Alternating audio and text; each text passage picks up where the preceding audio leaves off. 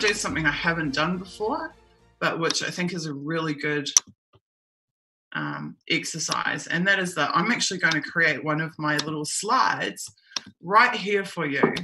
And I'm going to call it the Access Waterfall for Technology.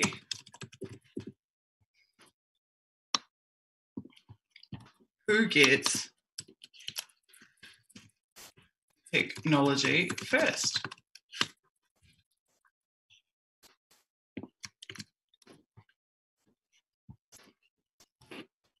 And the answer to that is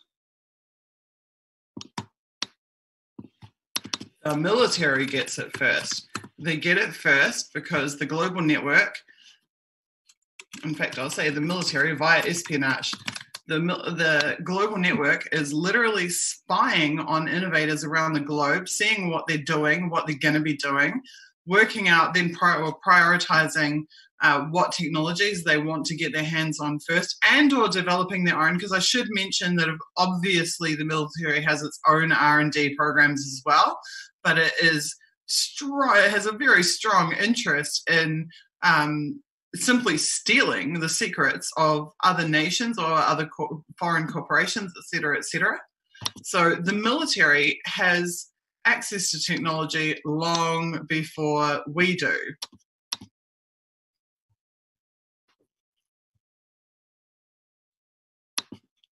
And after the military is what I call the military industrial complex. So this is where the contractors, etc., um, are also given uh, access to cutting edge technology that is not yet available in the commercial space.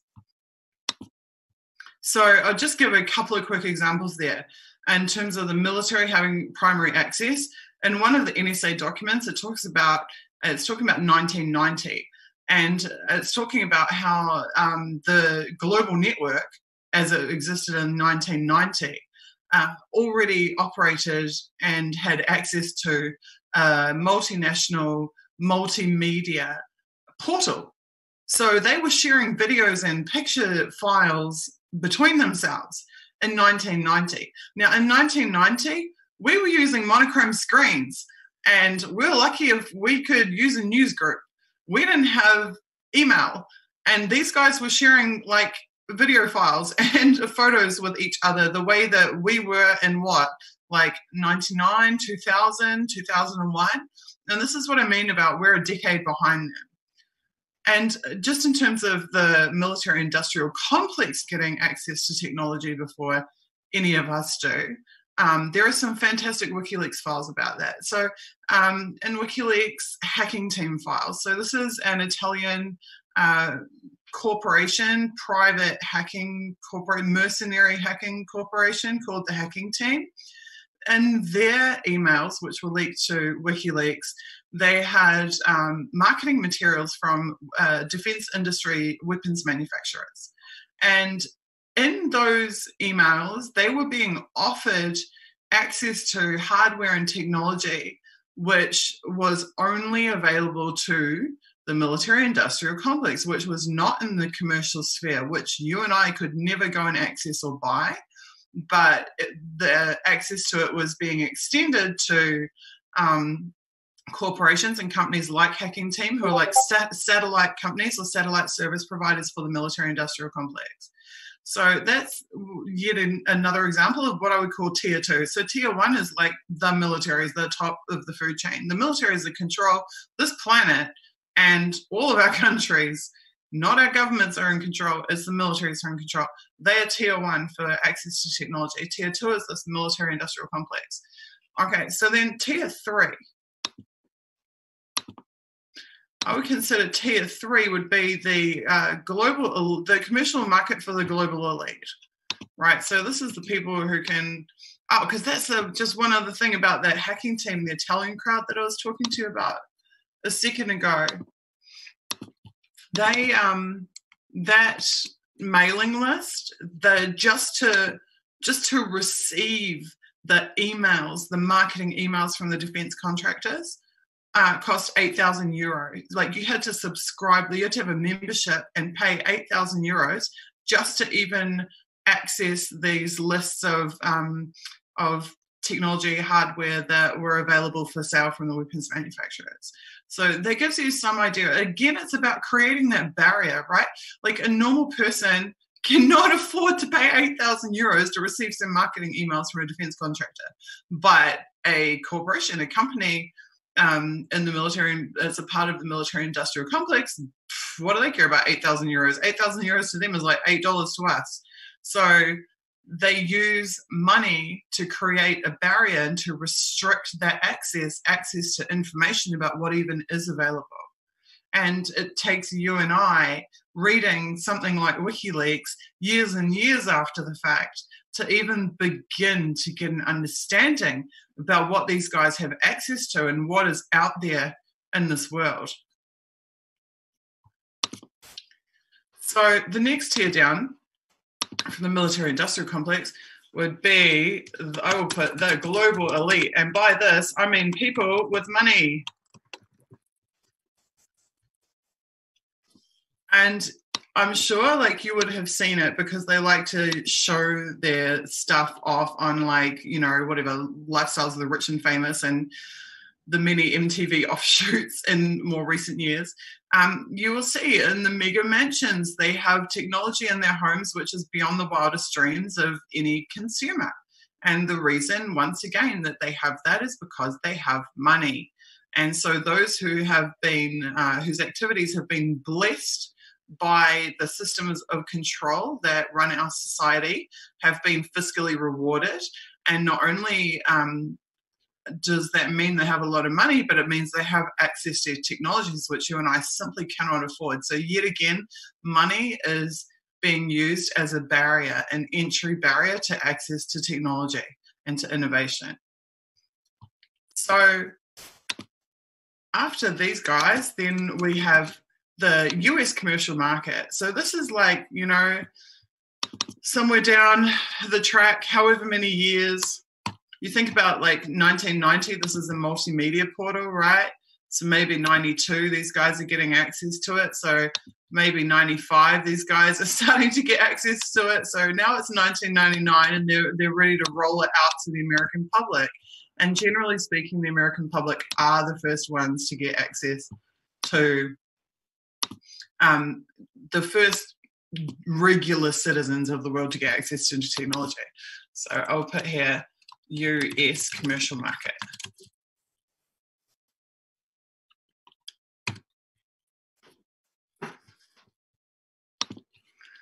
And then after the US commercial market, this is where access to technology becomes a, uh, I'd say almost a bludgeoning tool that is used um, for other countries that have um, relationships with the US for whatever to whatever extent. So I would put here US MIC favoured uh, partner countries.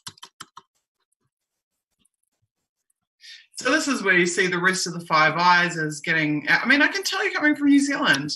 I can absolutely tell you coming from New Zealand. New Zealand, think about it, is one of the four most favoured countries in theory of the United States around the world. You know, the, the English speaking countries are this tight knit group tight knit group tight knit group that stick together.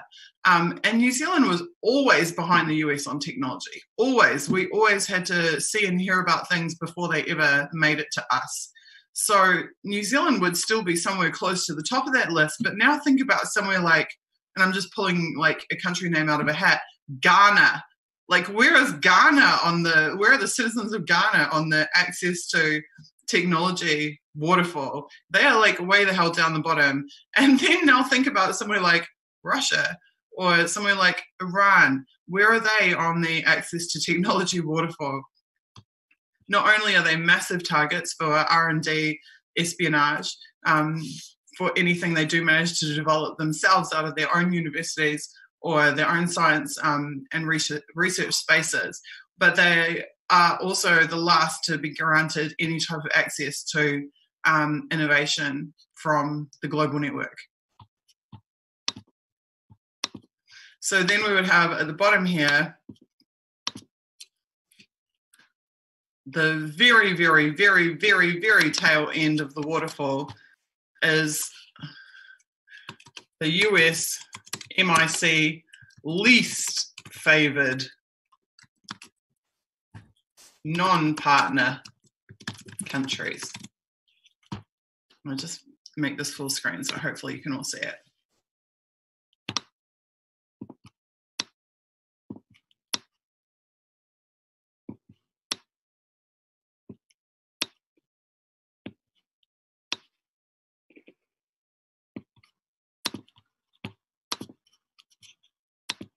So there you go. For any of you who were wondering whether I actually make these screens myself, whether I make these slides myself, yes, all of this is my own research, is my own um, deductions, and it's based on years of research. And if you go back through my body of work and my body of articles, you'll discover that every little piece of information I give you here is from research that I did at any given time and wrote about in my long form articles. So I'm just going to save that.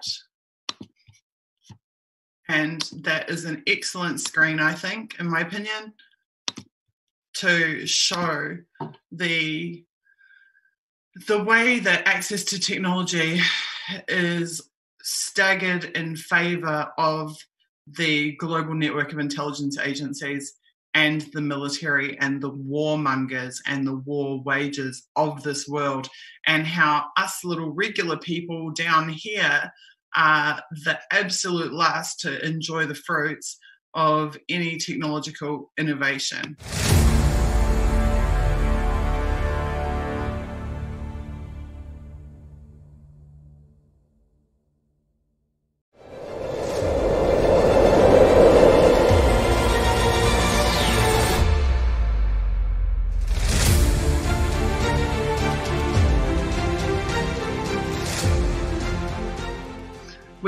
Also seen from studying the NSA documents that there is a humongous obsession inside the NSA with uh, what they call budget day. And this is where once a year they prepare their budgets for congressional over, uh, approval.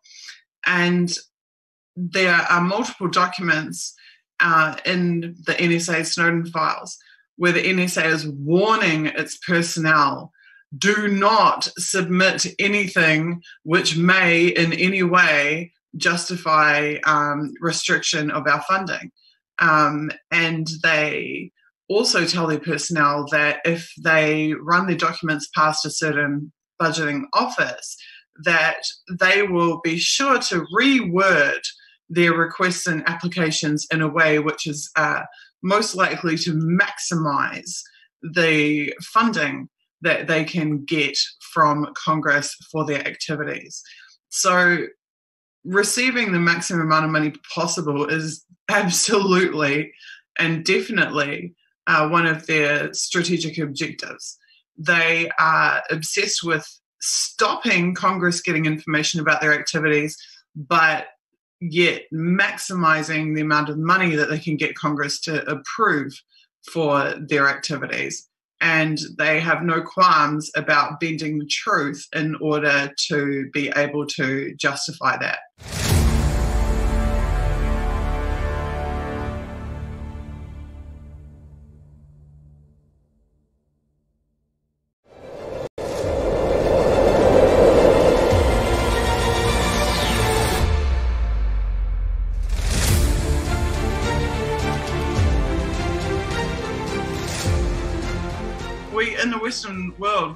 Operate under this fallacy, this complete fallacy of a meritocracy. We're told like anybody can become a millionaire if you have a great idea and you work really, really hard and you have good people around you, you can be the next Bill Gates. I'm telling you for a fact that's bullshit. And Kim Dotcom is a classic example of that. Kim Dotcom had great ideas and great people and built amazing products that everybody liked and hundreds of millions of people were using and was consuming 4% of global internet traffic. And what happened to Kim Dotcom? Oh, ah, hello. His house was raided by 100 armed police with helicopters and attack dogs. And he's now been through seven years of litigation and they're attempting to extradite him. Where, where are they attempting to extradite him to? They're attempting to extradite him to the Eastern District Court of Virginia, which is the same court that prosecuted John Kiriakou, that is trying to extradite and prosecute Julian Assange, and that wants to prosecute Edward Snowden. So, why is he being um, prosecuted in the Eastern District Court of Virginia? Apparently, for copyright infringement. Copyright infringement is a civil offence and not a criminal offence. And yet, his home is raided all of his personal belongings are seized. His business is forcibly shut down. The FBI seized his domains and his websites. All of his customer data was erased from the face of this earth. And he has been relentlessly persecuted and smeared in the media. Why? Because the meritocracy does not exist. Because Kim Dotcom was supporting WikiLeaks, Kim Dotcom took a stand against the intelligence agencies, and would not capitulate and allow his business to be run by them.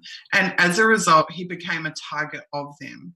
And this is what happens at all levels of technological development. If your project shows any promise or, or any significance, you will either be bought out or you will be destroyed.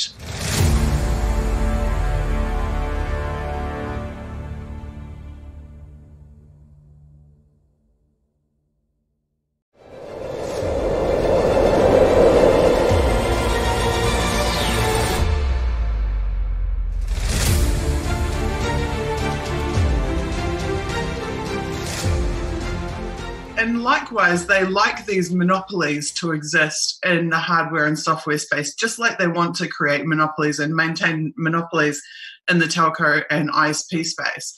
So we have how many cell phones in this world? We have hundreds of millions, if not by now, probably a billion cell phones in this world.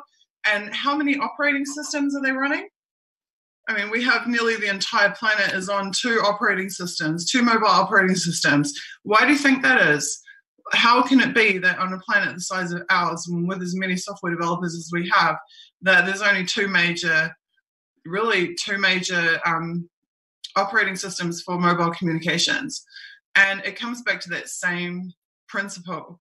The intelligence agencies are actively restricting innovation in the technology space and particularly in mobile, anything related to internet, they want to control who is supplying hardware and software services to the consumer markets.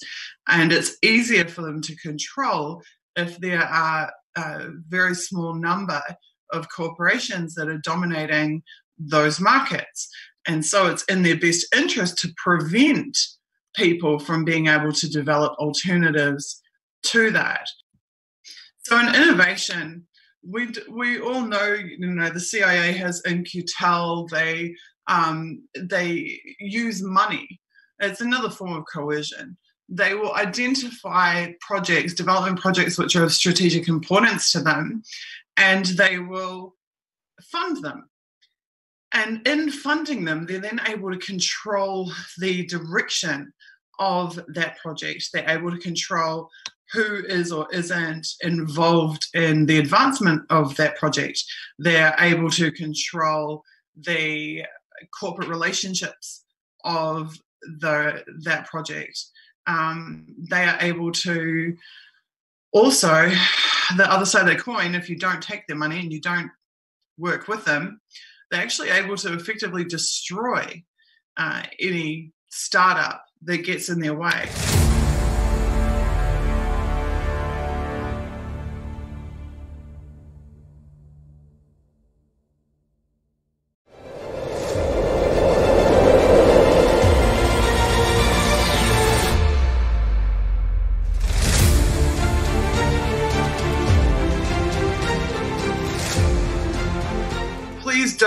And support the campaign. if you can't donate, which many people can't in the current economic climate, please just promote the website, promote the donation link, promote the streams, and let people know that this exists, that this movement exists. Let them know why it's important and ask them to back this campaign. Because if we can get some successful suits going against these guys, we can really make them think twice and have some serious impact maybe even set some really important legal precedents uh, to fight back against these networks of agents who have been destabilizing our civil society across the Western world. But I mean, with 100 partner agencies across most of the world, they have the capacity to commit these crimes against citizens, against um, around most of this planet. And as I've said in previous videos, that's not okay with me. And that's why I've dedicated my life to fighting back against them because I feel it, that we have to do it. We have to do it. We can't just get to the point where this total global surveillance state that we live in is able to actively destroy anybody who challenges it.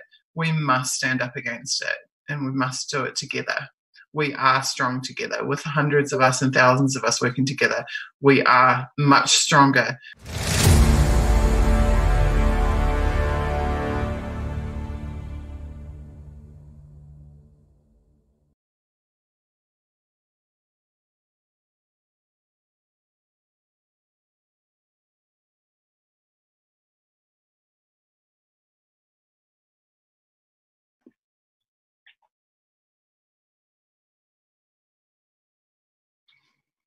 Hi, everybody, and welcome to my channel.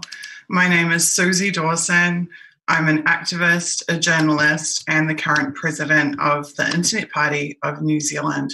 Thank you so much for being here tonight.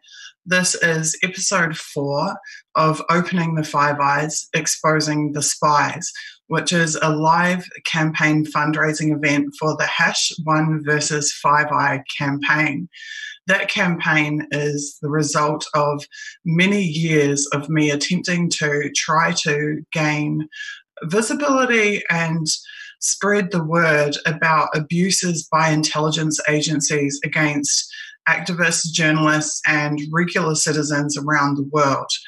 And in this campaign, I now am trying to raise funds for my newly acquired awesome human rights legal team to sue the intelligence agencies who persecuted me for my activism and for my journalism and to try and bring a halt to the illegal activities that they have been engaged in. You can find hello to everybody. I can see you in chat saying hi to me. Um, you can find out more information about this campaign at number one, letters VS, number five, letter I, one versus five I.com. I would really, really appreciate people either donating to the campaign to fund my quest for justice or to sharing the donate link to as many people as you can. That link is one versus five I.com slash donate. Okie dokie. Um, last week I put together a little Twitter poll asking you what content you wanted me to cover. And you said you wanted to talk about the ways that the intelligence agencies subvert all the different sectors of society. So that's the program that we did last Sunday night. The second favorite option was understanding World War III. And so that is what we're going to look into tonight. First, I just want to have a little chat with you guys about what has been going on with me. If you saw my Twitter uh, timeline tonight, you would have seen that I nearly didn't do this stream tonight. In fact, for most of today, I was thinking to myself, I can't stream tonight. I can't stand the idea of being on camera and doing this.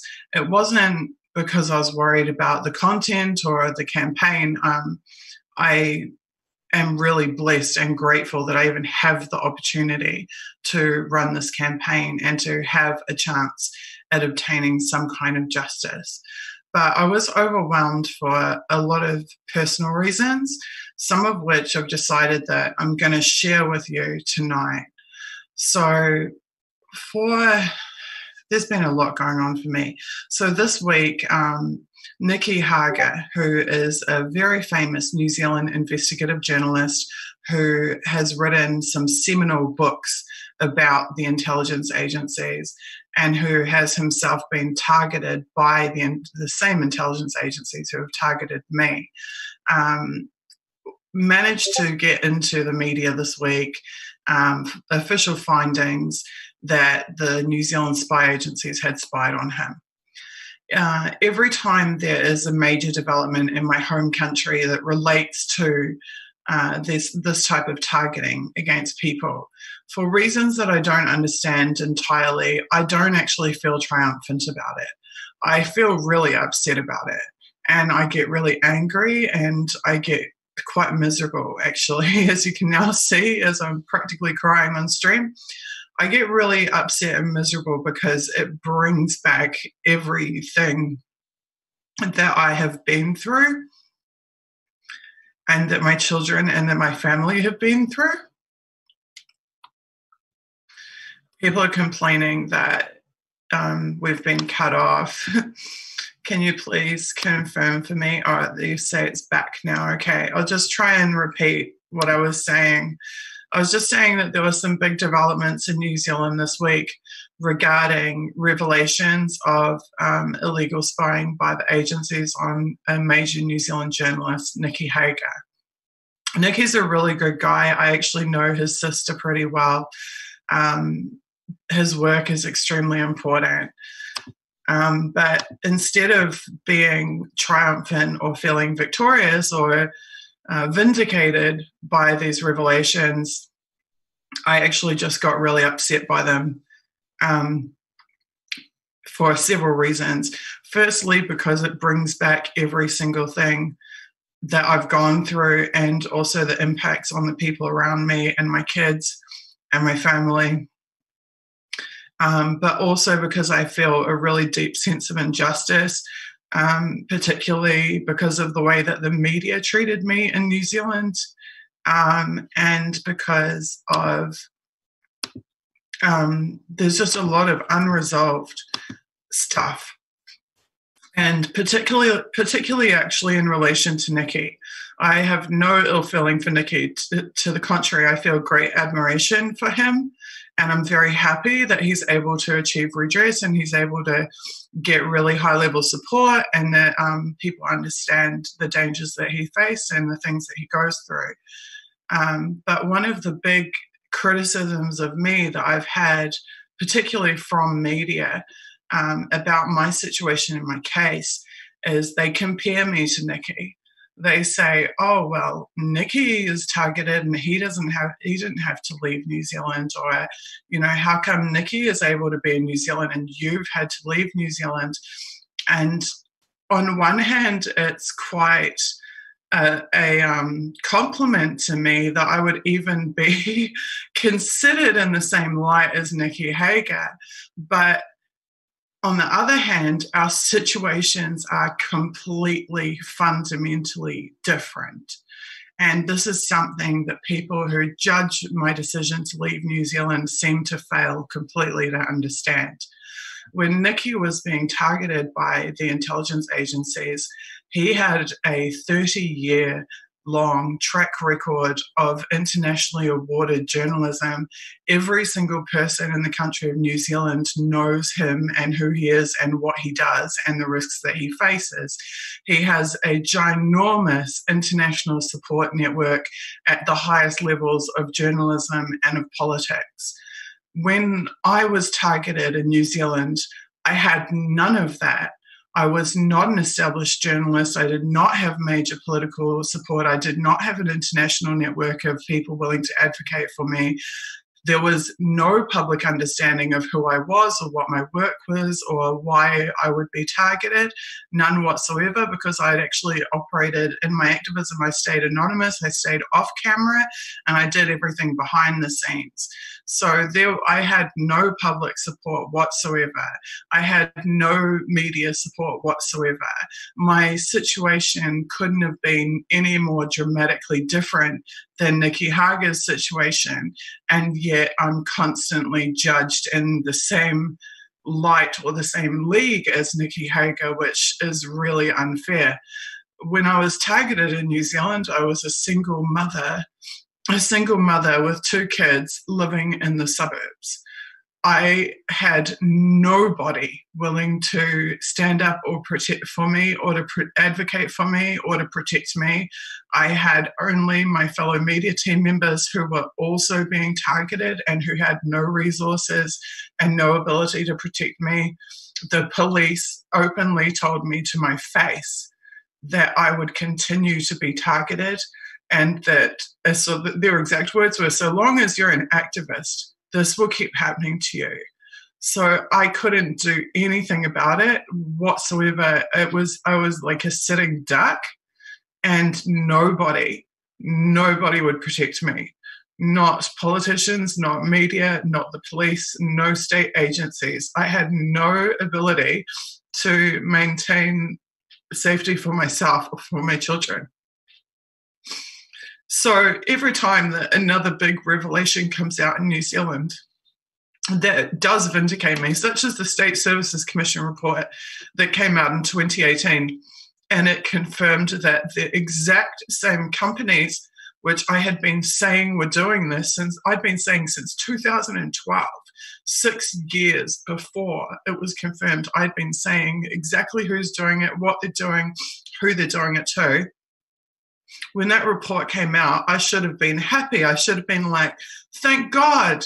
Now everybody knows that what I was saying was true. I wasn't some crazy crackpot making this shit up. I was telling the truth all along. But to be honest, I didn't really feel vindicated. I felt miserable. I felt upset and miserable. And I put a public statement out actually on that day that the report was released and you can tell how angry I am when you read that statement. I was just so angry at what I perceived was the total abandonment of me by anybody who could have actually helped me when I was in New Zealand. So leaving New Zealand for me was it was like stay and die quietly or leave and have a chance at continuing my work and telling people what was going on. And so that's the option I chose. So it hurts, quite frankly. It hurts to be judged against people who have completely different situations and scenarios to me. Um, and to have my decisions, which I felt like I had no other decision I possibly could make at the time, to have those decisions judged against the actions of people who have the types of visibility and protection um, and resources and support that I never, ever, ever had when I was in New Zealand. So that's the first thing that's bugging me. But then the second thing that's really um, hurting me too is every single day that I'm in exile, I see firsthand the impacts of that exile upon my kids um, and my family, but primarily my kids. And I've chosen tonight to actually start to talk about this. And for me, it's a humongous risk. For me to talk about the things that upset me and the things that I'm going through is an absolutely humongous risk. It's a risk for multiple reasons. First of all, because I inevitably am blamed for what's been done to me, despite the fact that I'm not the person who did it. And it's a risk because the people who continue to persecute me use anything that I say or anything that I disclose uh, to continue to persecute me and continue to hurt me. And for me, it's always been a really double edged sword as to whether or not I, I, talk about my kids. And so, generally, other than saying that I have children, I've said basically nothing about them. but the impacts on my parenting of the children when I was in New Zealand being targeting, being targeted were absolutely devastating. And the impacts on my ability to parent in exile are similarly devastating.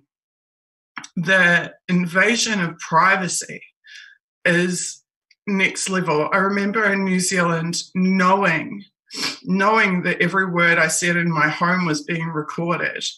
And my daughter asking me about to tell her about the birds and the bees. And me having to sit there and try and explain to my child the facts of life and particularly the facts of being a girl and becoming a woman knowing that every word I said was being scrutinized by security agencies that had it in for me and were trying to destroy me. It, I feel like they robbed me and my children of some of the most precious moments and precious years of our life and things that normal parents can just take for granted. I could never take for granted. And I had to constantly make decisions relating to my children. Wow, I'm sorry, I didn't know how upsetting this would be to talk about. I had to constantly make decisions relating to my children in the realistic and practical context of us being targeted by the state. For example, I lived in constant fear one of the things my daughter complained about to me is she always says, "Mum, you're um, you're hyper vigilant." Um, and she's talking about not about hyper vigilant about being targeted, but hyper vigilant in terms of I would live in fear that my kids would um, be jumping off the trampoline or whatever, would hurt themselves and would end up having to go to hospital for whatever reason, and that it would be used as a pretext to take my children away from me to punish me for my activism and journalism. Because there are countless other cases where this has been done to activists and journalists who are single parents, where they come at you through your kids. That's what it comes down to they come at you through children. They have no qualms about doing that. So my kids couldn't just play like normal kids. Like when I was a kid growing up, I broke my wrist, I broke my arm, I broke my leg. It didn't matter. My parents went and took me to the hospital, get a cast on it, no one cared. But as a single mother who's a targeted activist and a journalist, I would literally be running around after my kids, like, watch that step, careful of this, careful of that, don't blah, blah, blah, blah, blah, constantly on at them. Be careful, be safe, be careful, be safe, like to a ridiculous degree, because I, something as simple as my kids having an accident and breaking their arm could be used as a pretext to destroy our domestic life and destroy our life together and potentially even separate us. That's the type of pressure that I and subsequently they, by proxy, had to live under um, as targets. Going into exile is there are whole other layers to that. There is um, there's the obvious isolation. Sorry. There is incredible isolation. There's incredible isolation that we face because we lost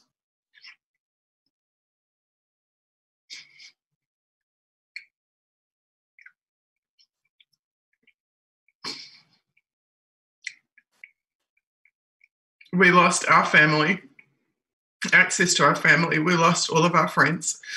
We lost our entire support network in terms of social support network and our personal community.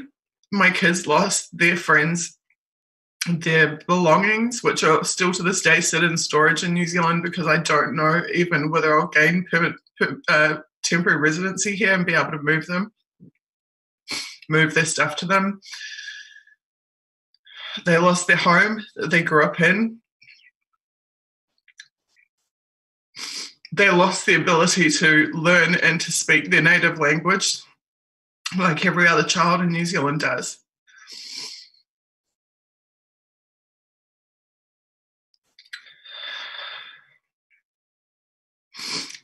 They lost the carefree and the carefree and attentive um, parent that I was to them when it was just us in New Zealand.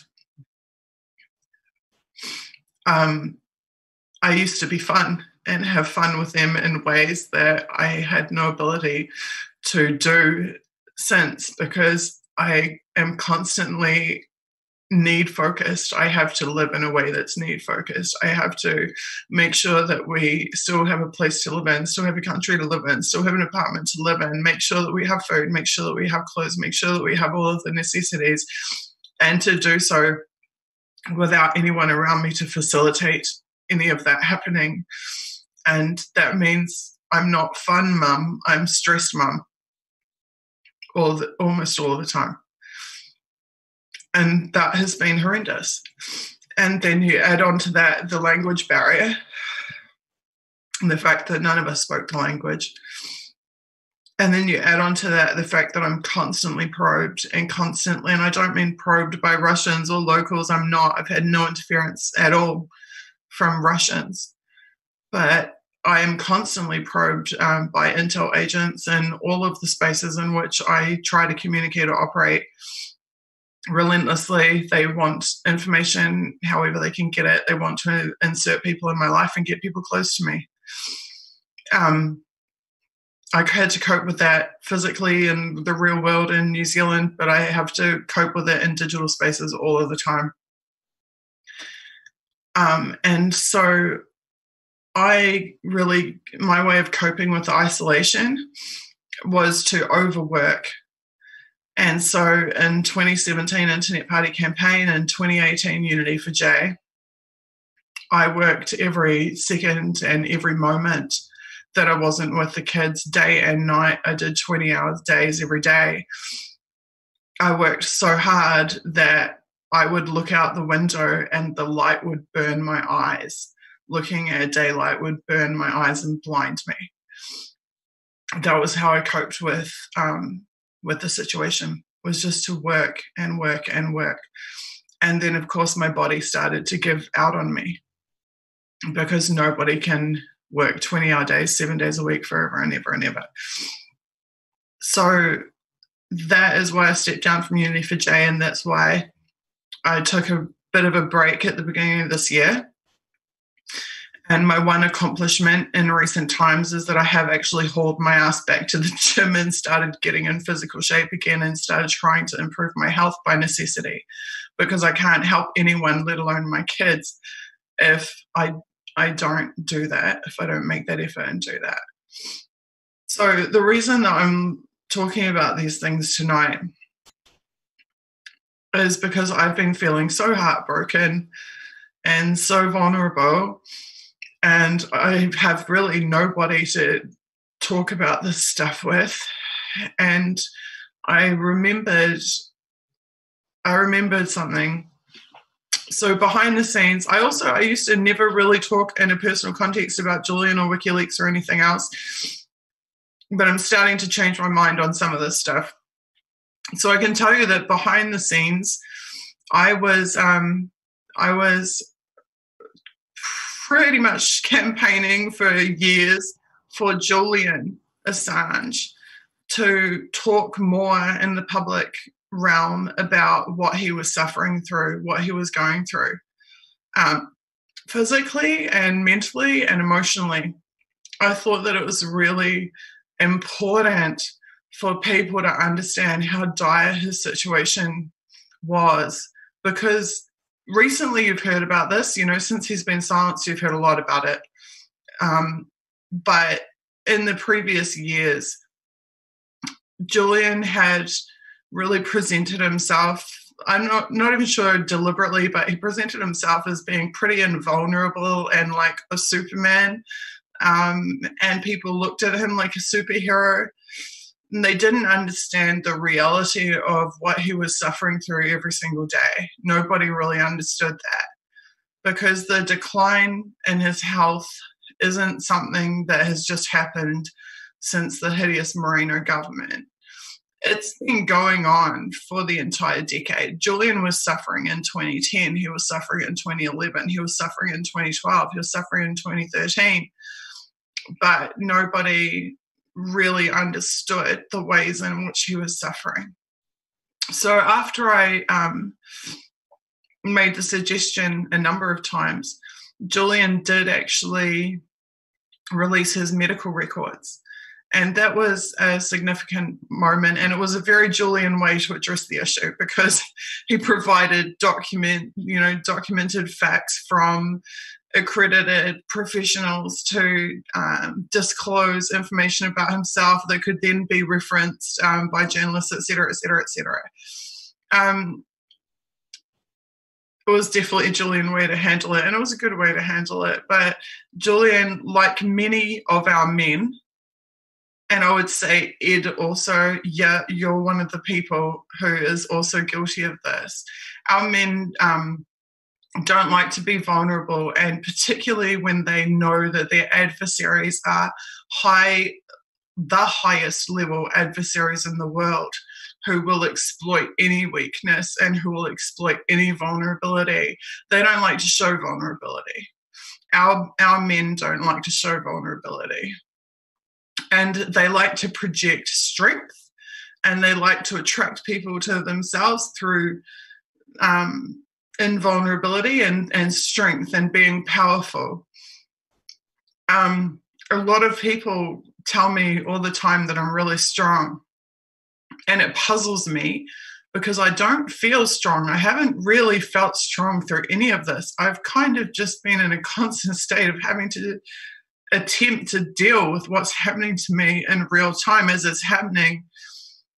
I've never felt particularly strong but people constantly tell me I am strong. And I think it's because they they confuse the strength of my convictions with some type of personal invulnerability or superpower. And I'm telling you, I'm definitely not invulnerable and I definitely don't have some superpower. And I'm also hyper aware that those who target us know full well how miserable we are sometimes, how much stress we're going through, how hideous what we're going through is. They know that because they spy on us. They were, as we now know, they were spying on Julian every second of every day in every room, including the bathroom, and broadcasting it live to Langley, Virginia to CIA headquarters. So they knew how Julian was suffering. They watch, they watch and study the effects on us targets of what they do to us. We are like lab rats to them. They will tailor their targeting of other people based on the impacts that they gauge from monitoring the effects of what they have done to us. So, what use is it for us to hide from the people who do love us and do support us and do care about us?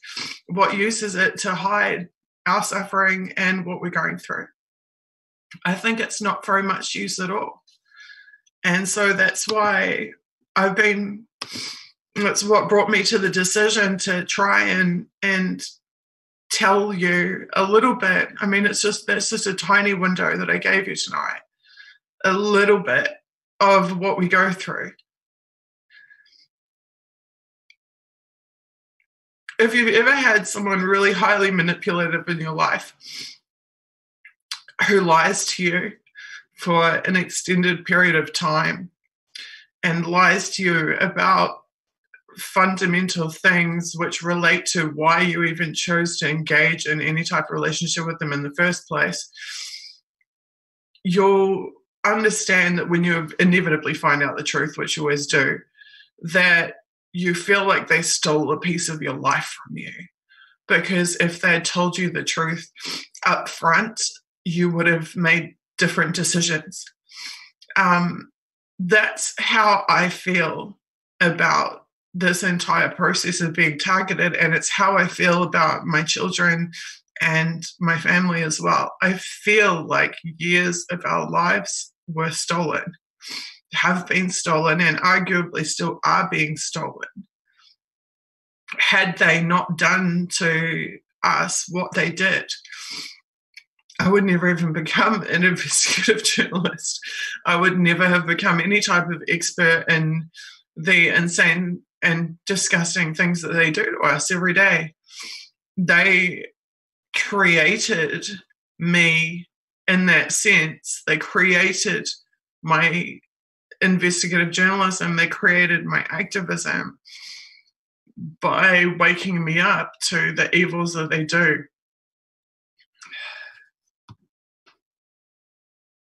Okay, some person of the hundreds and hundreds and hundreds of chat messages that I can see scrolling up my screen right now, some person just said Assange has been lying to us about 9 11 maybe now I can stop crying because instead of feeling sorry for myself, I can go into defense mode.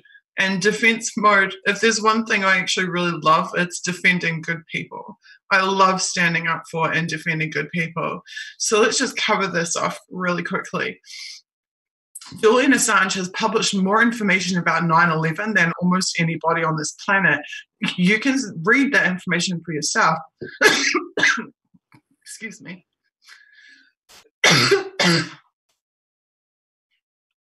you can read this information for yourself on WikiLeaks. He published the 9 11 pager um, transcripts.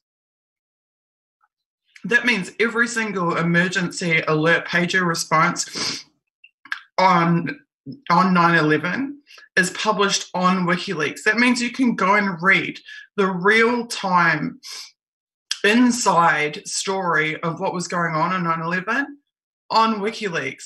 Basically, nobody ever talks about this, but it's there. There is, I'm not sure off the top of my head, but there's probably tens of thousands, if not hundreds of thousands, of messages from first responders on 9 11 published on WikiLeaks. And if that's not good enough for you, then just type 9 11 into WikiLeaks, and there is unbelievable amounts of content from State Department cables, from diplomatic documents about 9 11. Now, someone's saying, Have I heard what he said answering questions about 9 11? Yeah, I have. I've seen the video and I've read the, the quote. Now, the video and the quote are two different things. You will notice if you go and watch them. For example, the Irish Examiner, I believe it was off the top of my head, or it was definitely an Irish um, paper, took pulled one sentence that Julian Assange set out and used, and it has been used forevermore as this pretext of Julian is uh, uh, doesn't believe in 9/11 truth, blah blah blah blah. What he said was that he didn't want. He was asked about 9/11, which in itself this is a question every activist asks because it's a loaded question because you get screwed no matter how you answer. If Julian says, Yes, I'm on board with 9 11 truth, then every journalist says, Julian Assange is a 9 11 conspiracy theorist. And if Julian says, no, I'm, I'm on board with the official story, then the whole 9 11 truth movement and all the activists get told Julian Assange believes the official story about 9 11. So, no matter which way he answered that question, he was going to be screwed by the answer. Now, what he actually said, if you go and watch the video of that interview, is he said, we have published 10 million documents on WikiLeaks which are verified fact so instead of asking me about something which we don't yet know one way or the other with 100% documented fact, please focus on the documented facts we do have, i.e., war crimes and God knows what else is in there, is in WikiLeaks files. Please, can we keep the focus on that? Can we keep the focus on what we've actually published?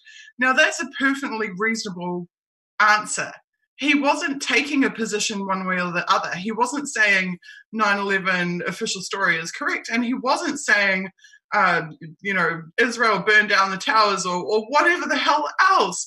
So I do not, it's just been used as a smear ever since I had the same thing happen to me. I mean, I was asked in an interview, every activist I know gets asked this in an interview. I was asked in an interview, what do you think about 9 11? And I said, it is pretty damn clear to me that there is a lot of holes in the official narrative and a lot of questions that need to be answered.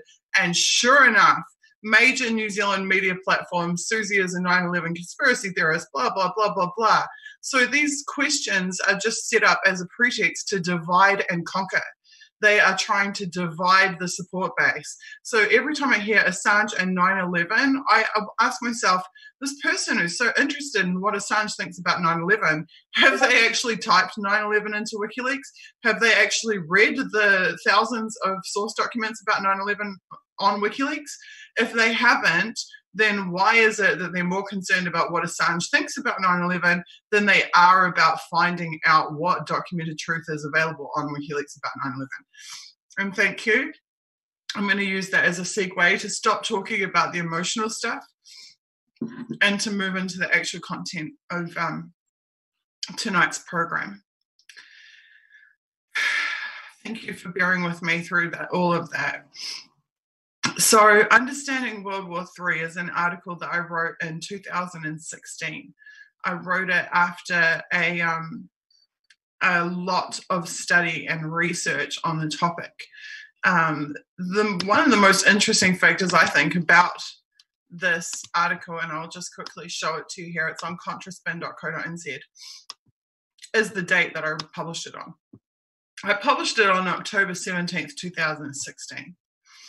So, why that day is so interesting is that while pretty much the entire Western media was in full blown 2016 election Trump versus Clinton, Coke versus Pepsi mode, um, I wasn't writing about Coke versus Pepsi, Trump versus Clinton. I was writing about the ongoing World War III because it was patently obvious to me that World War III is not only happening, but it's been happening for a long time.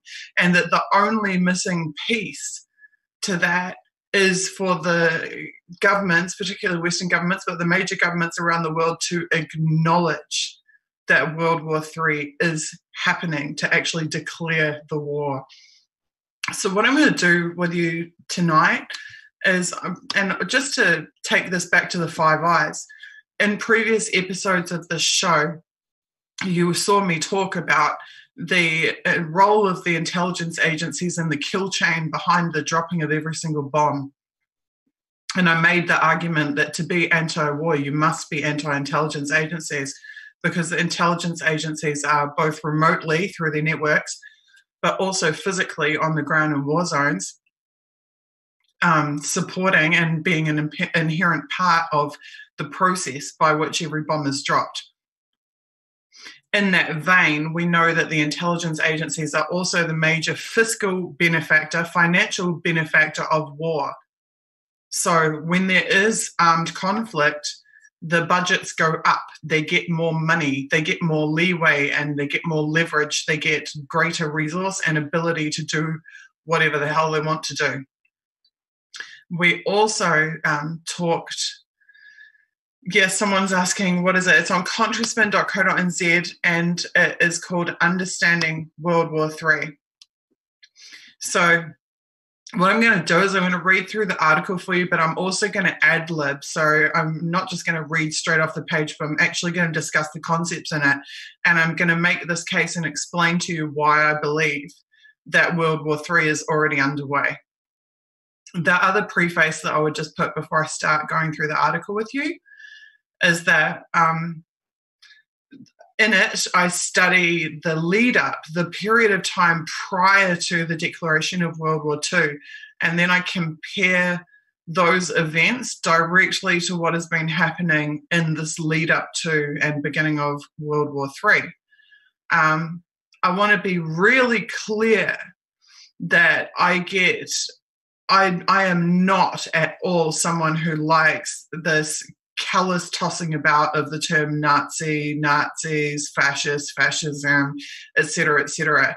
Um, I think it's irresponsible the way that some people have engaged in it and done it, and I hate that um, people get branded with it just because they have some kind of uh, difference of opinion or political opinion or ideology or whatever else. I think it's um, I think it's another tool of divide and conquer.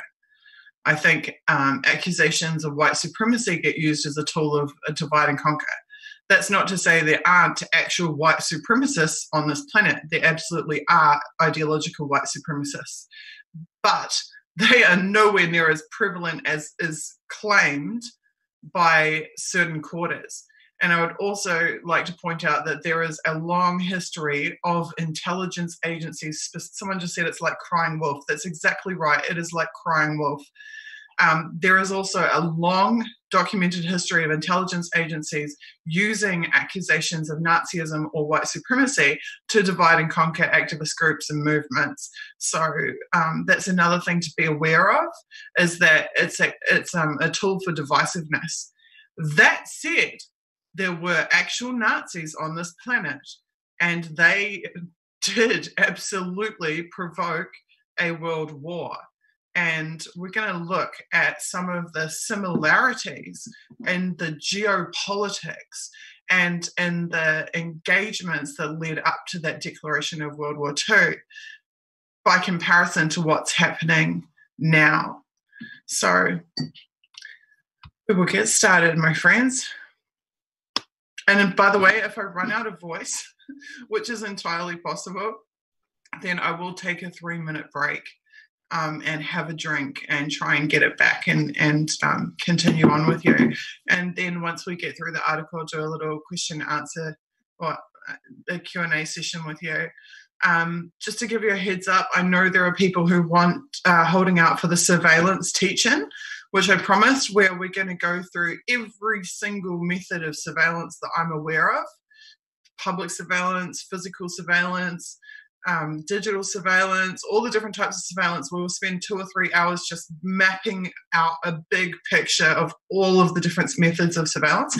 We'll probably do that next Sunday night.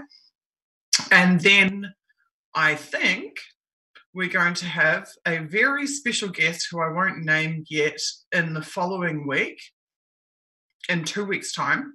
Um, and we're going to study the JTRIG files, which is the uh, Joint Threat Research Intelligence Group from GCHQ, which is the UK uh, eye of the Five Eyes, which was revealed in the Snowden files. And the JTRIG documents are extremely important because they are all about the specific targeting methods of the intelligence, Five Eyes intelligence agencies as pertains to people they consider to be threats in a primarily in an online environment. So it's all about like online digital infiltration of uh, groups and networks. It's specifically about how to smear a target, um, how to destroy a life um, through online means.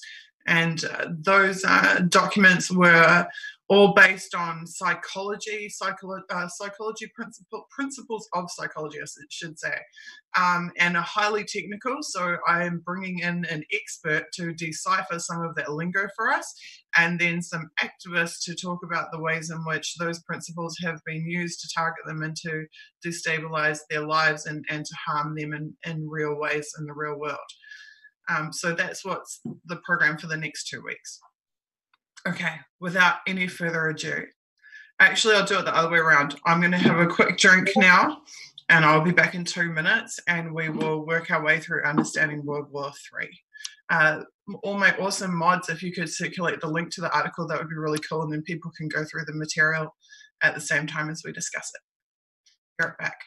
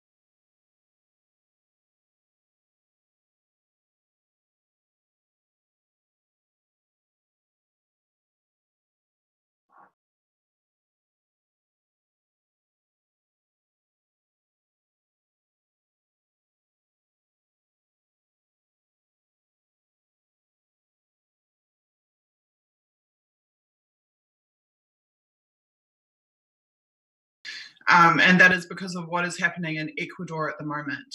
So the Ecuadorian people are resisting Lenin Moreno's government, who has been imposing the IMF austerity and privatization event agenda, which has already affected so many countries around the world, including, in fact, little very few people realize this, but including, in fact, my own home country of New Zealand, um, also known as neoliberal economics. Um, the privatization agenda meant that from roughly the end of the 80s through until the current day, New Zealand lost ownership of all of its critical infrastructure.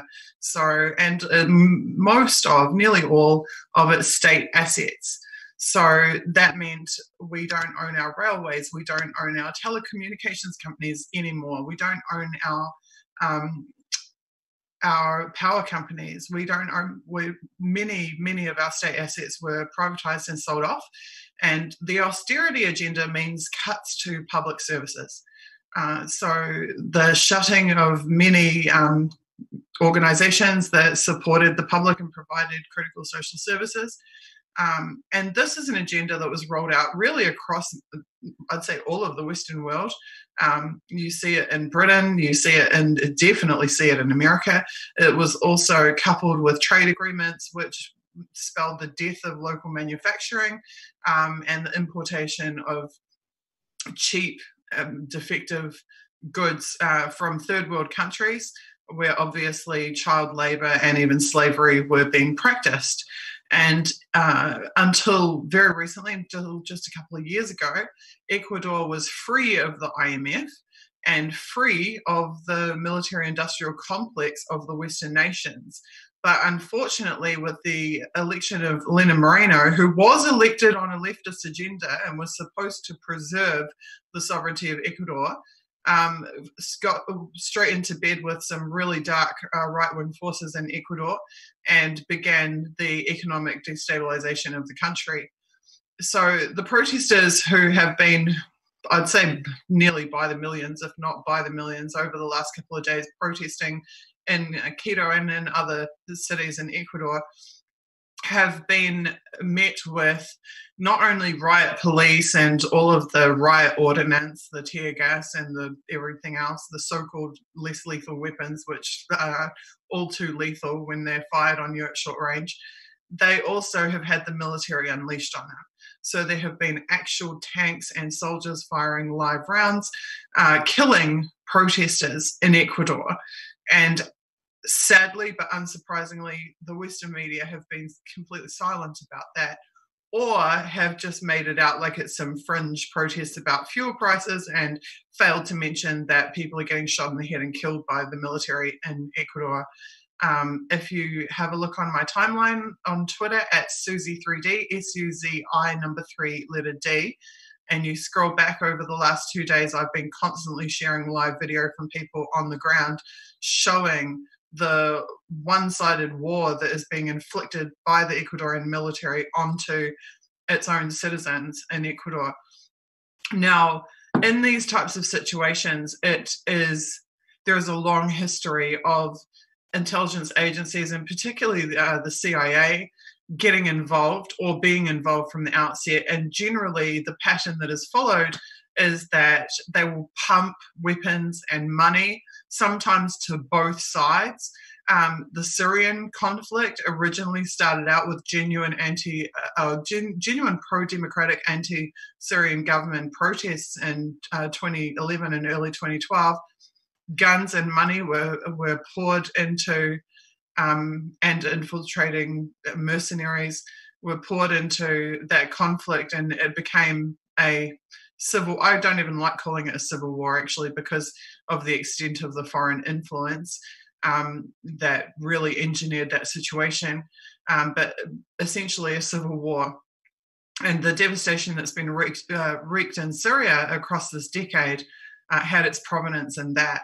Now my concern is that while the protesters currently don't have arms and aren't shooting back that um, ecuador looks to me like it could be set up to become a similar scenario. And it also looks like it could eventually become a proxy war. And we're going to talk a lot about proxy wars shortly as we look into this article. So I'm going to screen share and we're going to get started.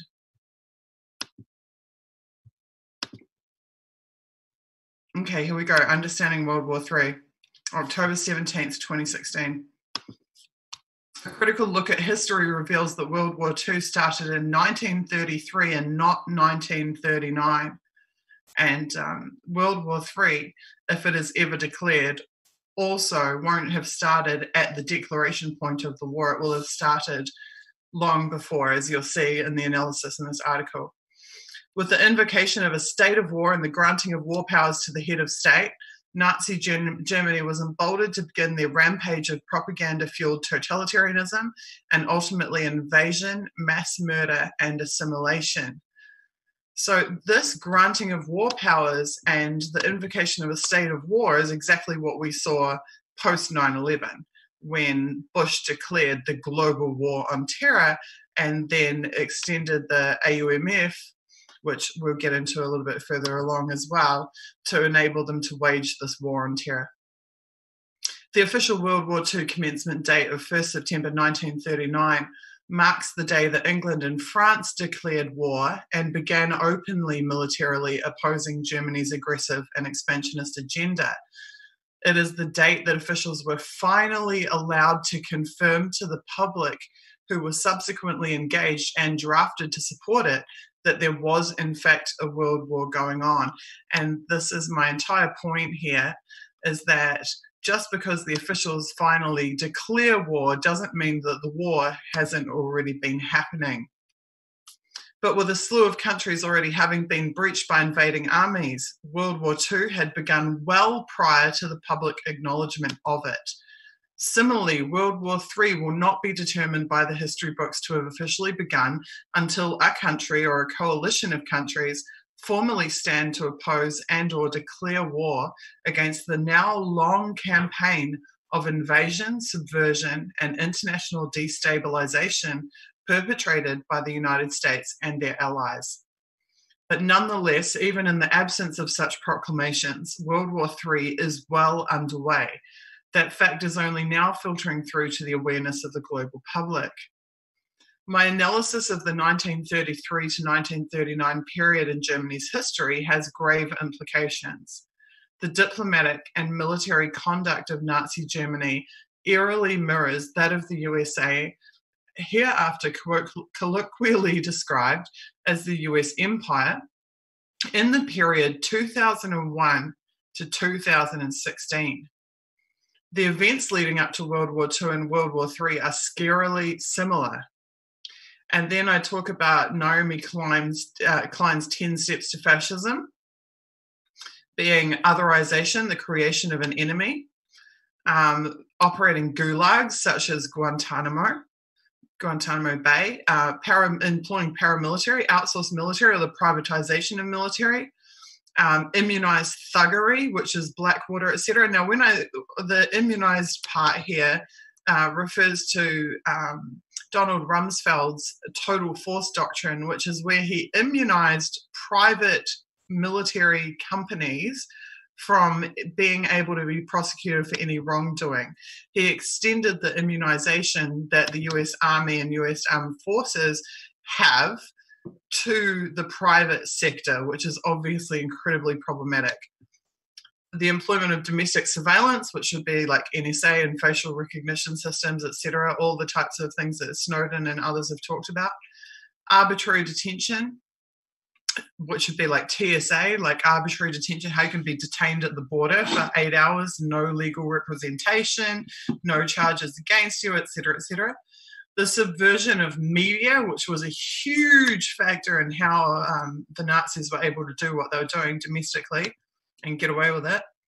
The abuse of the definition in terms of espionage and treason, well, Jesus, we've seen that, haven't we? John Kiriakou being um, charged with espionage for revealing the fact that crimes against humanity were being uh, perpetrated by the CIA and legislative suspension of the rule of law, which is pretty much exactly what NDAA has been about each year for most of this decade, being the National Defense Authorization Act in America. But this article will go beyond that to look not just at the general trends and conditions, but to directly compare the chronology of the specific acts of Nazi Germany with those of the modern day US empire in the context of World War II and the now well underway World War III. The Naked Agenda.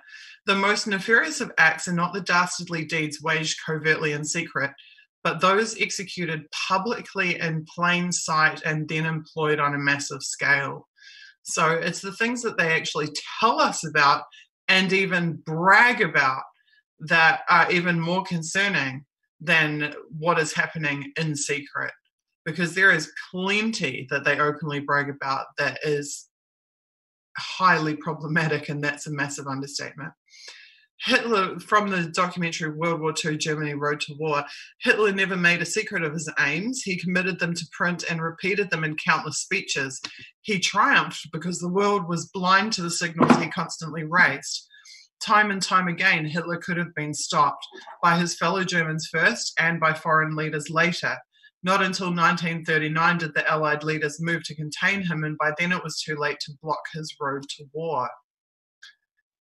Time and time again, over the last 15 years, the empire has declared that it is at war. This isn't something they've hidden. They've said, We are at war. This is a war. The world is a battlefield. This is a global war on terror.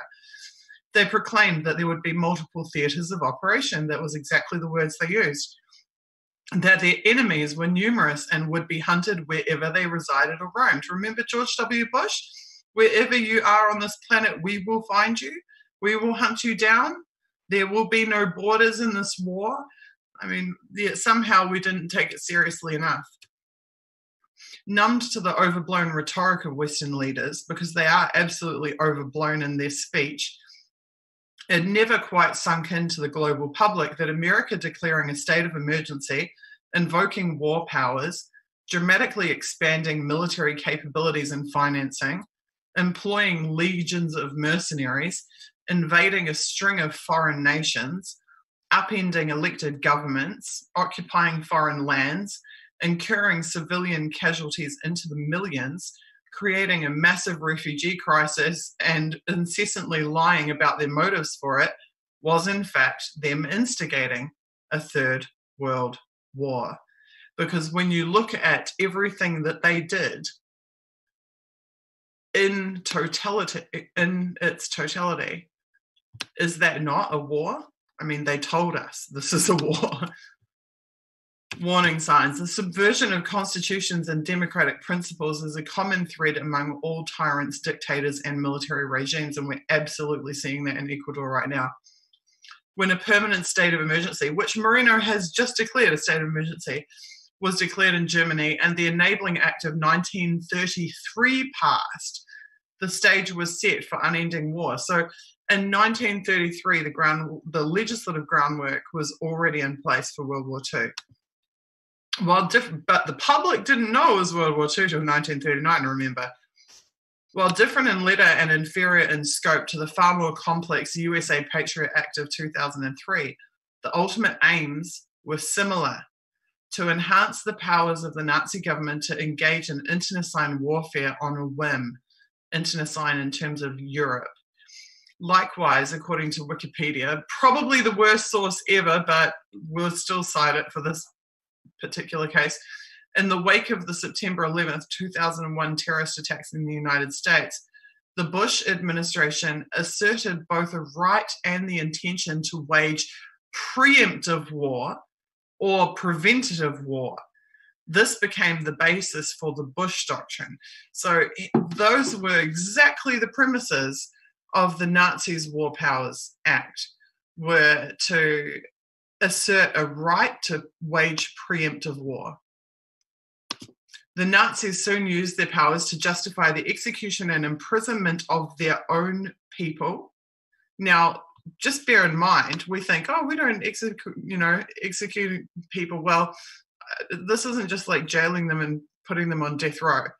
This is like drone executions of American citizens on foreign soil extrajudicially without them ever being arrested or charged or going to a court through a court process. And this is manifest in the recent conduct of the empire also.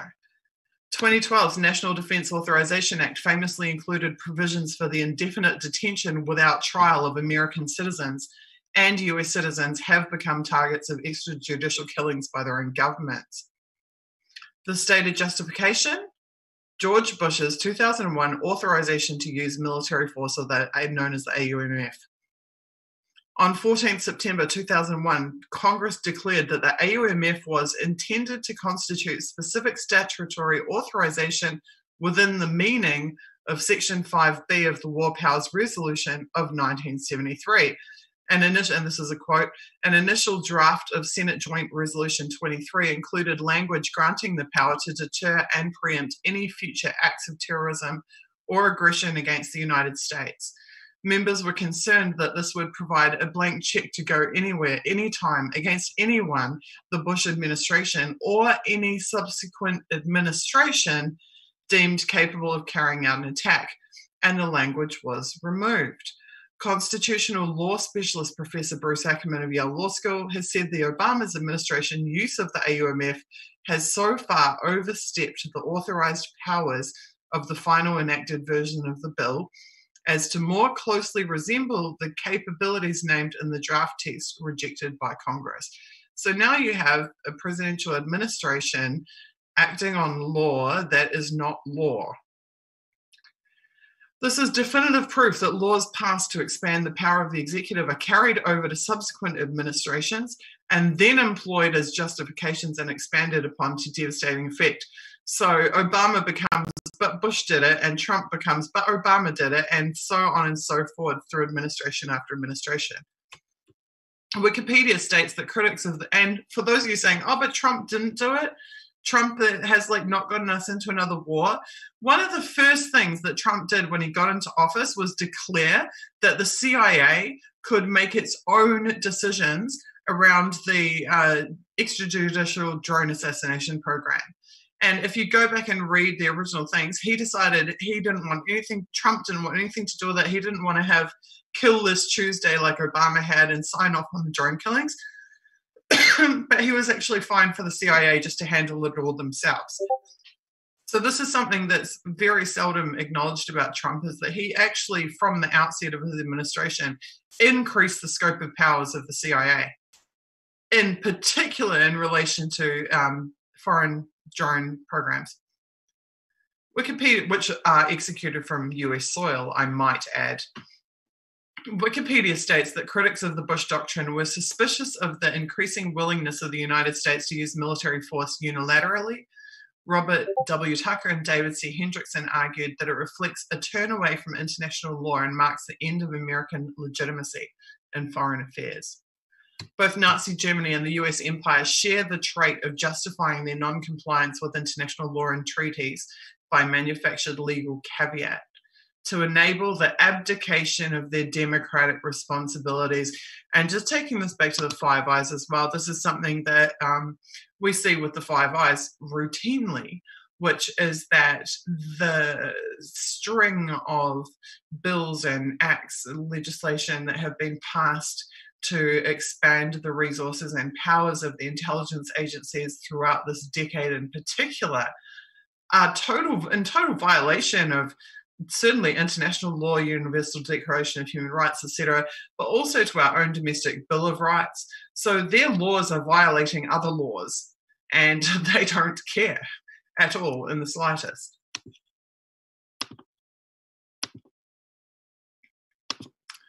Germany claimed that international treaties were not adhered to by their political adversaries and therefore it need not uphold or be bound by them. Now, where have we heard that before? The US has completely abandoned international law in recent, if not, I'd say the last 20 years in particular. And also, this goes back to it goes back to my earlier point too um, in the article about what they do openly is actually almost scarier than what they do in secret because they have made no secret of uh, pulling support, uh, refusing participation in international tri- tribunals, refusing to respect international law, res- uh, refusing to uh, respect decisions by international bodies to which they're signatories. Um, this is this is done overtly and openly. It's not at all something that they make a secret out of.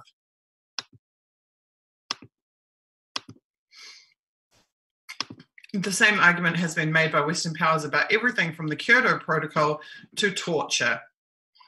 Another similarity is a self righteous contempt for established covenants governing the military conduct of nations.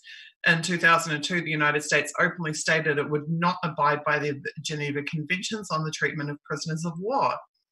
Likewise, Nazi Germany's failure to abide by the 1929 conventions have been thoroughly documented. So, once again, they're just openly refusing to abide by fundamental pieces of international law like the Geneva Conventions. Peace is an endlessly abused idealistic, idealistic concept. Actually, we can probably skip this, otherwise, this is going to take too long. So, this entire section is about how um, war gets dressed up as peace by these diplomats and politicians who are advocating war. They always do it in the name of peace. And Obama was so in Hitler's speeches, he would declare he's going to do all this evil shit, and he'd say that he's doing it in the name of peace. Um, likewise, uh, Obama did the same thing in 2009. President Obama fam- famously droned on for over 30 minutes about peace in his acceptance speech for the Nobel Peace Prize. This, despite his administration having dramatically advanced the prevalence and use of obscene, high tech methods of achieving extrajudicial killings. An extension, he went further than that which was employed in George W. Bush's hegemonic and interventionist foreign policy. Conquest in stages is another another similarity uh, between uh, world, the lead up to World War II and the ongoing World War III the obsession with strategic uh, strategic planning reassures these guys of their longevity, yet their thirst for victory and conquest is never sated. Remember George W. Bush standing on that destroyer and saying, "Mission accomplished." Uh, and then how long was it before they were into the next country and the next country and the next country? War is an addiction for them. Once the cogs of war are greased in emotion, they become trapped in a cycle of their own inertia inevitably the velocity they generate speeds them towards their undoing. They haven't accomplished any mission other than perpetual war. Nazi Germany's trail of subjugation forged across Central Europe, back to back, unopposed and largely bloodless successes, bolstered its aspirations to impose dominion over the greater Western European continent. The further that aim progressed, the more murderous the campaign. Ultimately, this brought them to the doorstep of the seat of power in the USSR, as well as into the North Atlantic Maritime Channel to the British Isles. Photo- photographs of Hitler's command show him and his generals poring over a map reminiscent of a plus size replica of the board game Risk. Risk is a great analogy for how war planners see war. To them, it is not the stark reality of their lawlessness, the blood and bone, murder and rape, mass displacement, it is a map upon which is determined the geographical control, monopolization, distribution, and ownership of resources. This is all, this also really, really applies to the intelligence agencies. The vast majority of the employees of the intelligence agencies aren't out there involved in killings or uh, human intelligence operations or whatever else. The vast majority of them are sitting in offices with PowerPoint presentations um, they are having corporate meetings. They are working on fudging budgets or writing bullshit reports for Congress.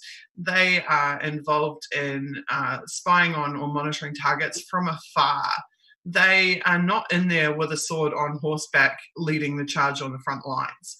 You know, they, they love to think that they are. In fact, they love to employ analogies to suggest that they are some digital version of a frontline warrior uh, to make them feel like they they are really have their hands dirty and, and are at the coalface.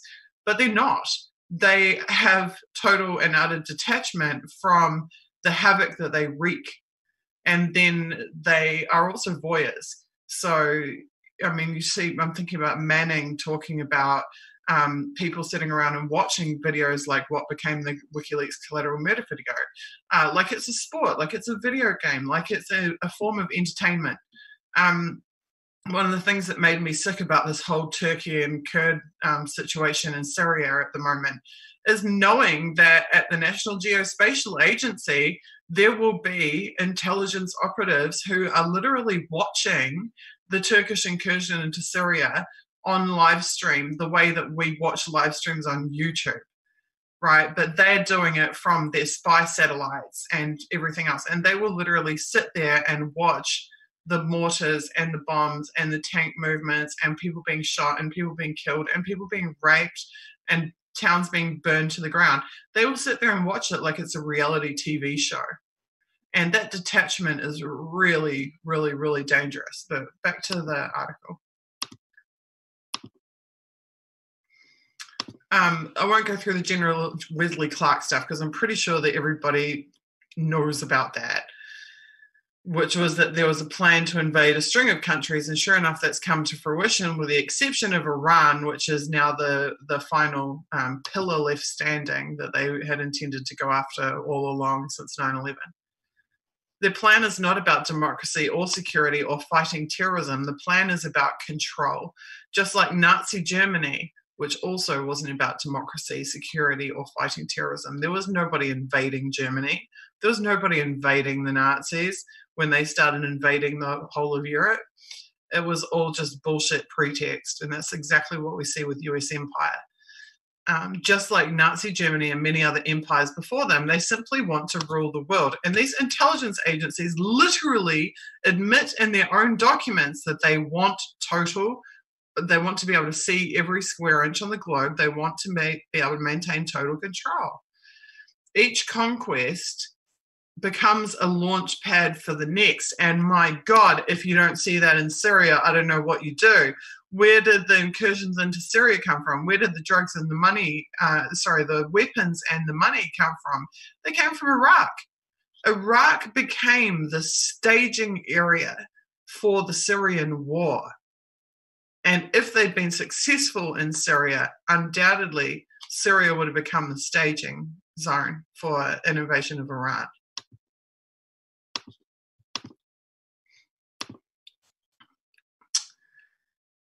The invasion of Iraq allowed the United States to establish bases and to prepare itself for conflict in Syria.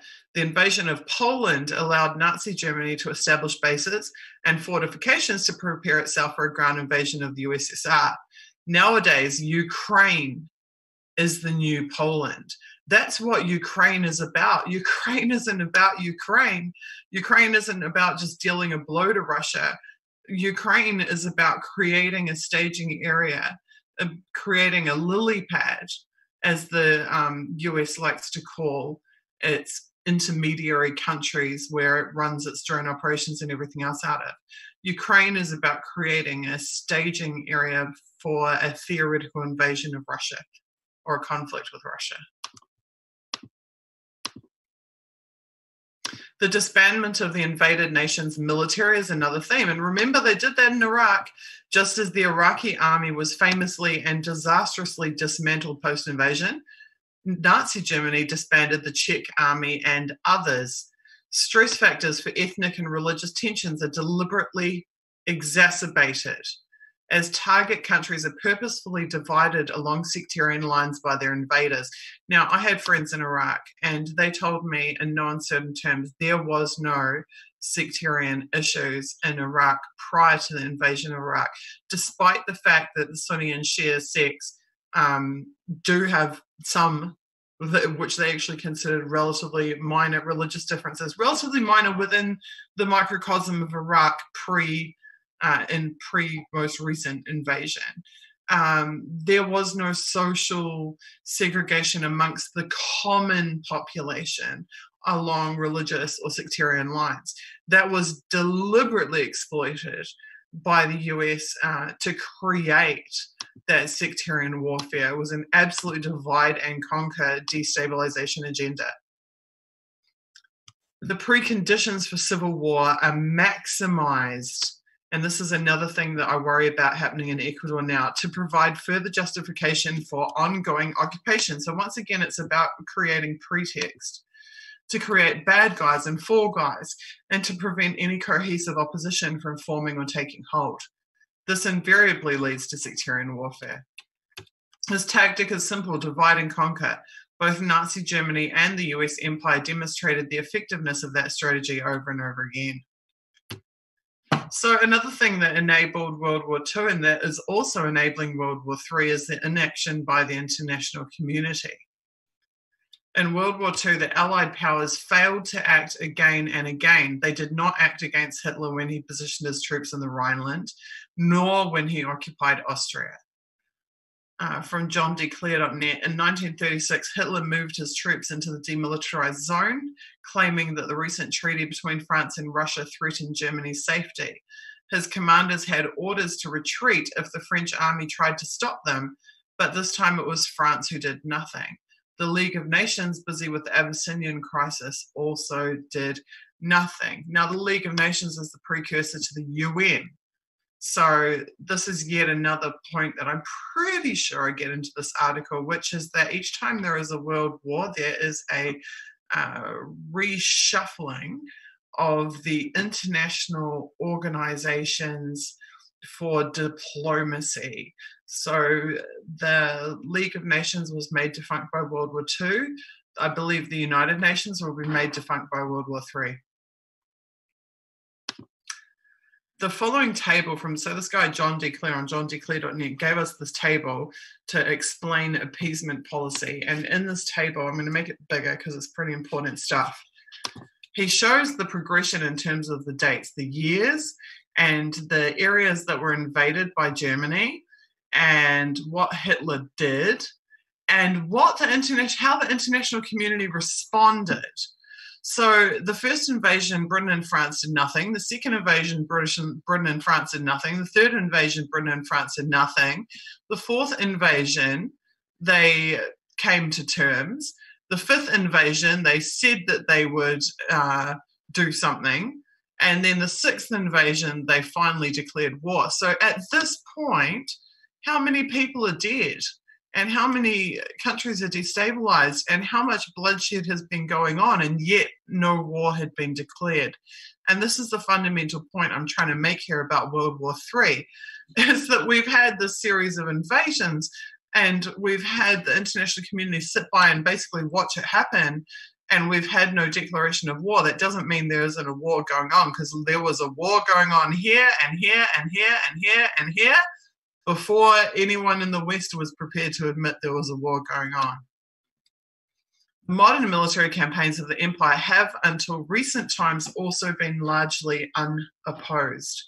Modeled off the above, here is my own table of recent events. So, what I did is I took this uh, this table that this guy John D. Clare had put together, and rather than it being in the 30s about Nazi Germany, I created a version that is post 9 11 and about the actions of the US empire. And again, I'm going to make it a little bit bigger and hope you can see it. So in 2001, they invaded Afghanistan. It was invaded by the US and allies, including the United Kingdom. And the only meaningful opposition was insurgents, local insurgents. In 2003, they invaded Iraq. It was invaded by a US led coalition of the willing, as it was termed they were imposed only by insurgents. In 2004, in Pakistan, with the cooperation of the Pakistan government, drone operations by the CIA rather than the military to avoid sovereignty issues were opposed only by insurgents in that region. In 2011, Libya was invaded. The US, UK, France, Canada, and 15 smaller nations destroyed Libya. And that's something that needs to be remembered actually that 18 countries got on board with the US and are equally culpable for the current state of non-state of Libya, the slave markets and everything else going on there. It's actually not just the US; it was everybody else that didn't have the guts to stand up and say no. They were also opposed only by insurgents. But then things begin to turn. In 2011, in Syria, US backed proxy militias and other forces engage in combat they are opposed by the Syrian government, supported by Iran, and as of 2015, Russia. So, this is the first signs of there starting to be some actual pushback against the invading empire, just like we saw here in the World War II version. So we saw here that finally a line was drawn. Okay, we'd had four invasions beforehand. Finally, a line is drawn, and then there's a declaration of war. Well, in World War III, we've got one, two, three, four invasions before a line is drawn. And then in 2016, Russia, the US has declared imminent cyber attacks against Russia and Russia declared that it was prepared to defend itself. So, this is at the time that I wrote this article. This is the moment that we were at. Now, also in this moment, and it's not covered in this article, though I definitely, I could probably dig out the file somewhere on my computer. Also, in this article, we saw, uh, sorry, at this exact time in 2016, just before the presidential election, there was uh, the US military was posting photos of uniformed American soldiers standing on the border of Estonia and Russia holding up American flags. Uh, thousands of tanks were openly, it was openly reported, thousands of US tanks, um, I believe also NATO tanks, were being shipped into uh, Eastern Europe. So there was a definite, a definite military buildup against Russia. Now, whether they'd be stupid enough to go into direct military engagement with Russia is debatable, given the nuclear weapons situation, um, given the historical disaster that previous attempts to invade Russia have been. Um, but they absolutely were hyper aggressive towards Russia. And this is never, interestingly, this is never discussed or acknowledged in the Russiagate debate ever. None of the stuff. In the Russiagate debate, America was doing nothing, minding its own goddamn business, and Russia came along and did this terrible cyber attack on the DNC. I can't almost sorry, can't stop myself laughing. Our democratic institutions, the DNC. Okay, that's the Russiagate fairy tale. But meanwhile, back in reality, the US empire had been staging provocations against Russia consistently and right up on its borders.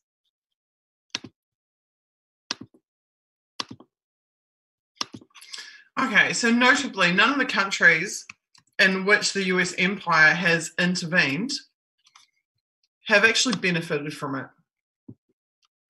none of them have resulted in peace, okay? Afghanistan, no peace.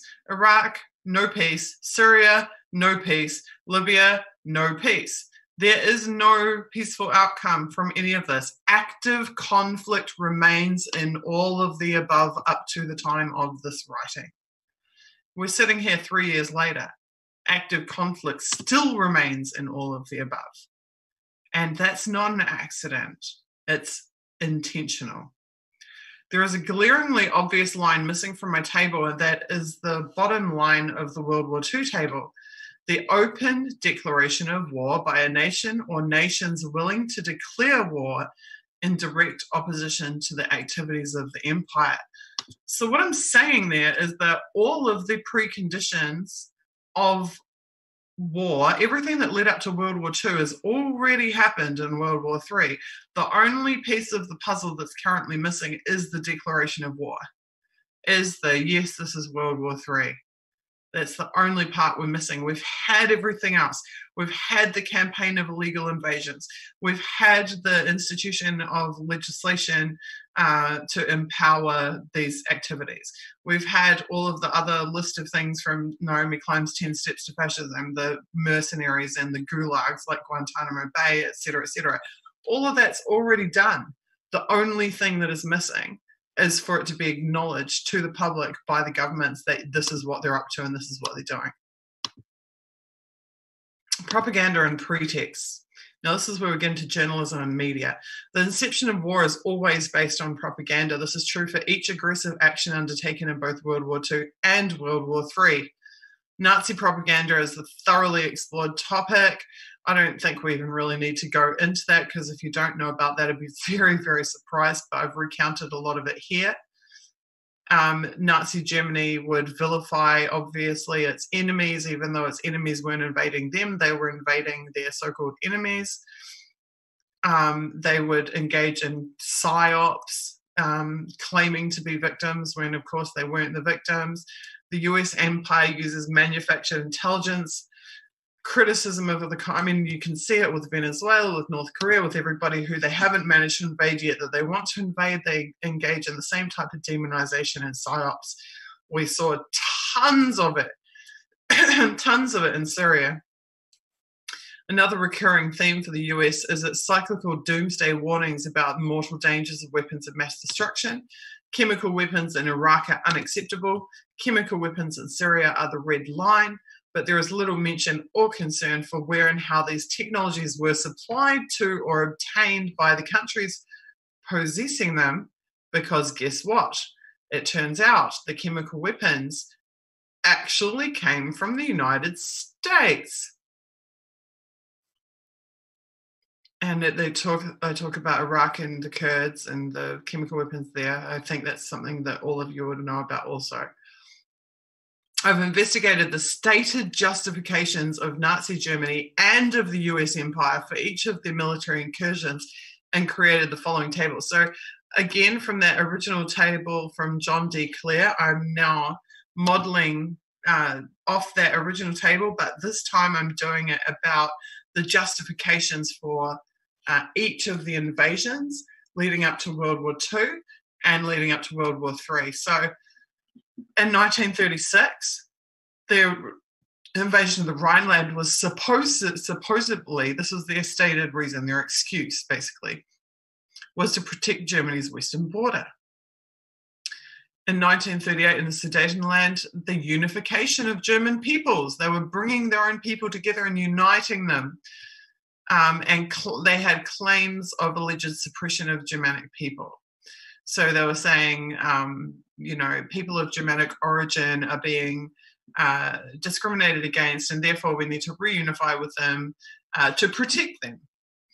They use the same excuse in Austria, then they use the same excuse in Czechoslovakia. But in each of those, they weren't uniting anyone. What they were doing is usurping all of the land of the province of the province, and then asserting governance um, mandating governance over it. Then in Poland, they said that again they were protecting Germanic peoples within Polish border who were allegedly fleeing Polish terror, and they said that the Polish were terrorists. And once again, they resulted in them usurping all of the land of Poland and uh, asserting governance over Poland and killing a million Polish people in the meantime. And I didn't mention above the further German invasions um, throughout the rest of the war. I just went up to the date the war was actually declared. So now we look at the excuses that the US has come up with for its invasions over the last 20 years. In 2001, Afghanistan was about September 11th because it was supposedly a terrorist safe harbor for Osama bin Laden and Al Qaeda. The end result, as of 2016, the country had remained in chaos 15 years later. 2003 in Iraq, it was weapons of mass destruction, removing a dictator and protecting human rights. Outcome the WMD allegation was proven false, millions of dead and displaced. 2004, Pakistan was about September 11th, terrorist safe harbor for Osama bin Laden and Al Qaeda. Drone strikes are ongoing some 12 years later, many dead. And to this day, I believe they're still um, doing drone strikes in that border region. Uh, 2011, Libya was about removing a dictator and protecting human rights. Remember those poor, the, they said those women had been raped. They'd come into the hotel to tell the journalists they'd been raped, and that's why we needed to invade Libya. Sure enough, as of 2016, the country remained in total chaos five years later, now eight years later, still in total chaos. 2011, Syria was about removing the dictator Assad and protecting human rights. But yet again, the country still remains in chaos, millions of dead and displaced. Now, in 2016, that was certainly the case. Um, Russia was only just starting to bolster Syria at that point. In 2019, there is some stable regions of Syria where the Syrian government, with um, foreign allies, has managed to uh, to create safe zones. Um, however, there is still conflict in other parts of the country, obviously. In 2016, their excuse for um, declaring cyber war on Russia was supposed to be in relation uh, to uh, was supposed to be retaliatory cyber warfare due to the accusation of alleged interference in the US election. The allegations of Russiagate remain unproven and the outcome is yet to be determined. Of course, for the propaganda of the state to thrive, there must be a wholesale subjugation of the press. This can be achieved economically through mergers and acquisitions of the corporations that own them. It can be accomplished through smear campaigns and career disadvantages for those who refuse to toe the line, and we've seen plenty of that. Also, prosecutions. If none of that works, then there is the outright, outright criminalization of the truth and the persecution of those who tell it. And if that isn't Julian Assange, then I don't know what is. Julian Assange was the ultimate truth teller about geopolitics and the state of our world and has been is being persecuted to death for it. So there's a really interesting case study. I'm just going to tell you the story myself, actually, rather than reading it off the page. There's a really interesting case study um, in Nazi Germany, World War pre, actually pre World War II times, and that's that um, there's this this uh, publication there's a publication that was the last i'll take this off screen share and i'll just tell you the story um, it was the last publication in germany on german soil to openly oppose uh, the hitler's nazi regime and to tell the truth about the crimes that were being committed, the extrajudicial killings and the uh, war crimes that were being committed, and the crimes of aggression and invasion. Um, it was called the Munich Post, but Hitler hated their guts, and Hitler called them the poison kitchen. And they only had about a dozen um, editors and staff working for them but they were documenting the extrajudicial killings of the of citizens by the SS. So think about how brave these people were.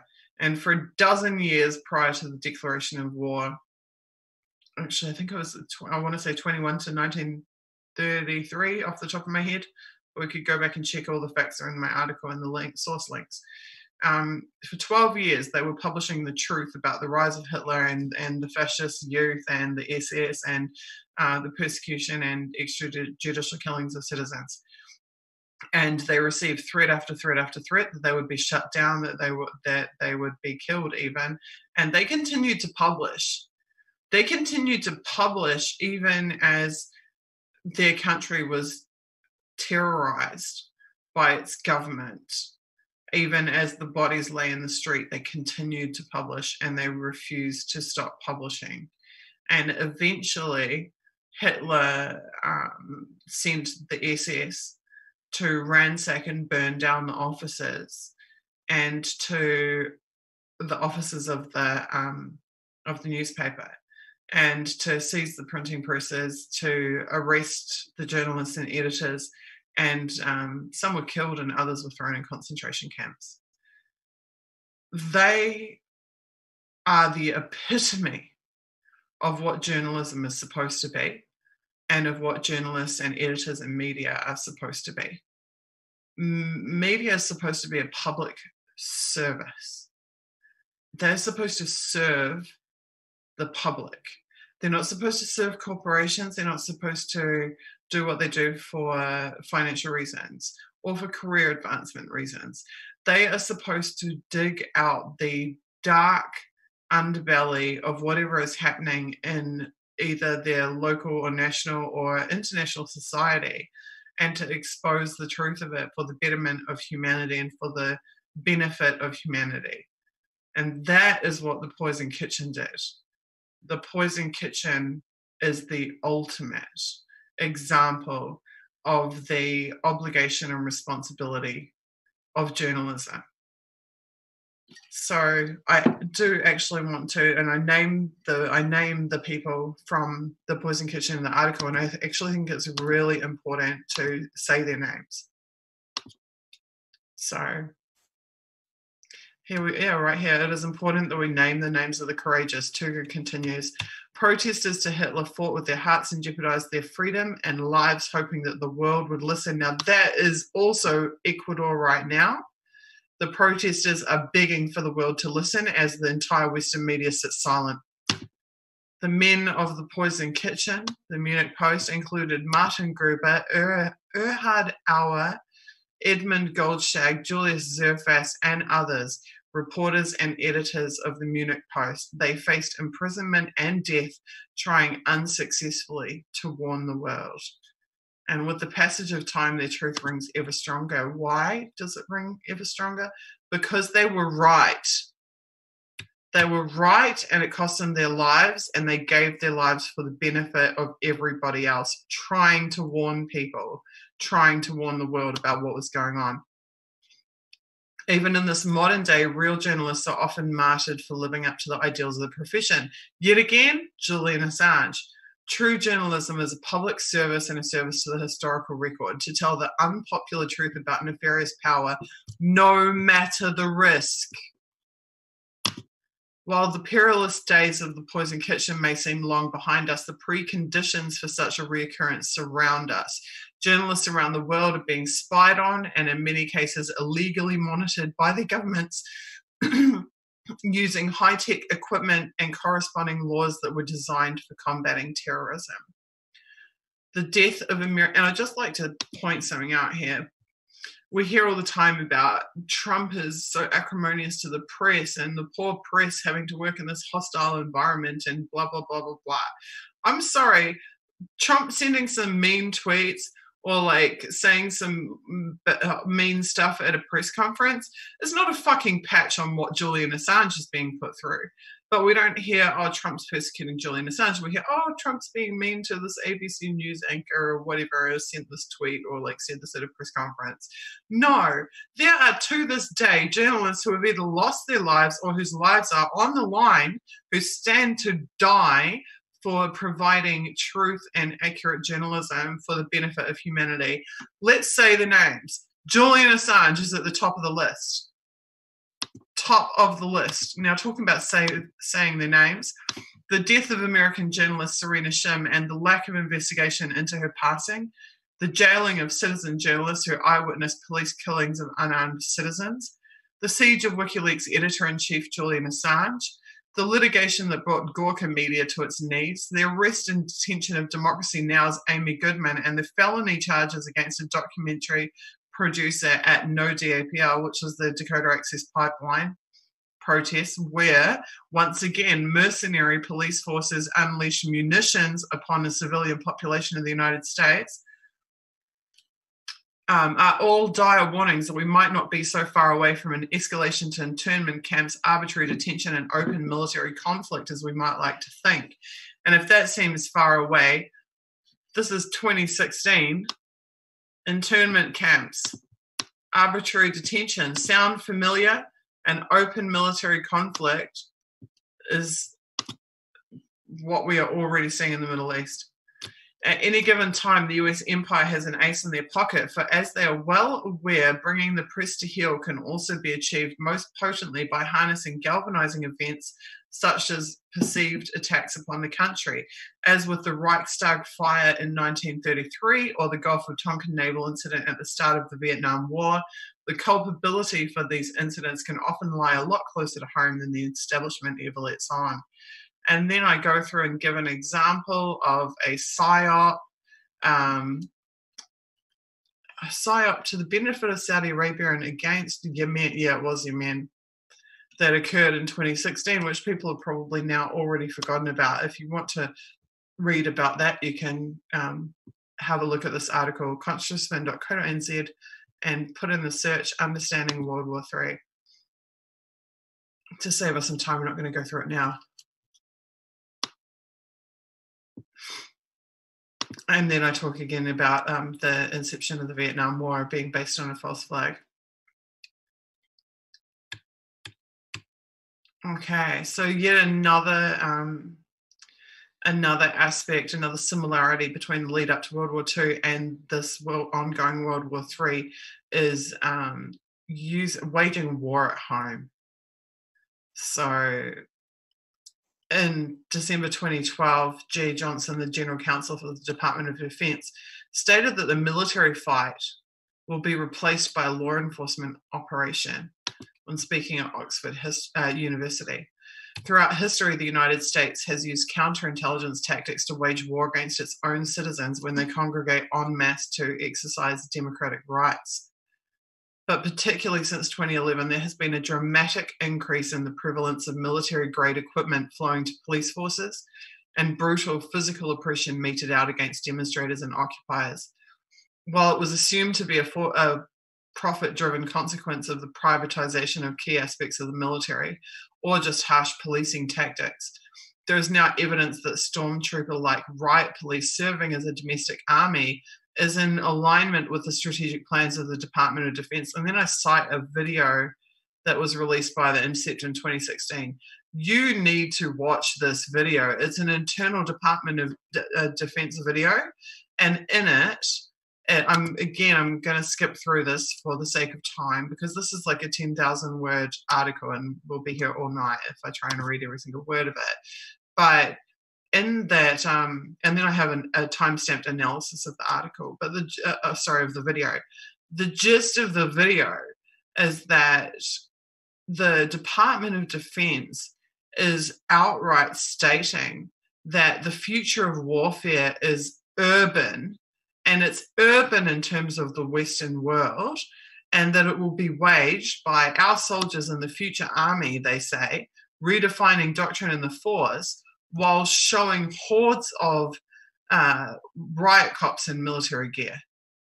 So these riot cops that we saw used against Occupy and other protest movements, and like we're seeing in Ecuador right now, are envisioned by the Department of Defense as being not police but soldiers and being the future army that will police urban areas on American soil. Now, if that doesn't scare the shit out of you, I don't know what does. Like, your military has basically decided, oh, yeah, we can't roll around the streets as the military. So, what we do is we take the police forces and we kit them out like as if they're military, and then we get a bunch of ex-military guys and get them recruited into law enforcement, and then voila, we have a military, but people don't recognize it as a military.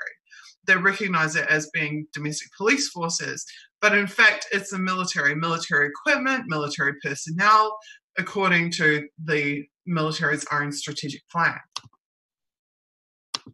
that should seriously scare the shit out of you guys. And it's already in place and it is already happening.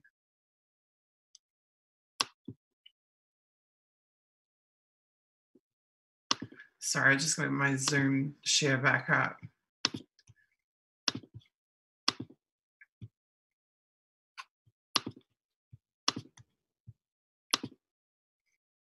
So that's the gist of that video, and I suggest you watch it. The video itself is freaking terrifying, quite frankly. Um, and then I make the point that you know Nazi Germany also had hordes of black-clad police with military equipment attacking its own citizens. The U.S. Empire is not the first to institute that. Nazi Germany had the SS. They too operated in tandem with military objectives and made a hunting ground out of their own cities then I talk about how every empire overextends itself. Um, I say empirical governors always seek to expand, expand, expand, or in terms of the acquisition and exploitation of resources to usurp and consume. Each military misadventure overplays itself into the next endeavor. So basically, things start out nice and easy when empires are waging these um, invasions like we discussed before, there's not really any resistance, or it's just some local resistance in the first invasions. But as the string of invasions continues, the resistance builds, uh, resistance builds until eventually the resisting force is actually a nation state or multiple nation states acting in a coalition, and eventually they push it too far and get to the point where the opposing force is equal or greater And that's exactly what happened to Nazi Germany. Nazi Germany bit off more than it could chew. And it's inevitable at this point that the US empire is going to do exactly the same thing. They're going to push it too far. And it, their little empire of million, whatever thousand military bases around the world is going to collapse. It's going to implode. Whether it's economically collapse or whether, in my opinion, is more likely that the direct um, coalition of forces that confront them will will be too great. Um, it's coming. I have no doubt about that. And then I go right through um, the progression for Nazi Germany as to um, their overextension and the ways in which they suffered and paid for that. And then I talk about the attrition of the US allies of the so called coalition of the willing, which has actually been getting smaller and smaller and smaller in recent years. There is, in fact, less and less countries who are willing to be involved in these invasions um, being waged by US empire the allies list is getting shorter and shorter. Then I have a little, a bit more stuff about Russia and Germany, which may interest you, and talking about the role of women in war and the Battle of Stalingrad. There's some pretty awesome facts in there.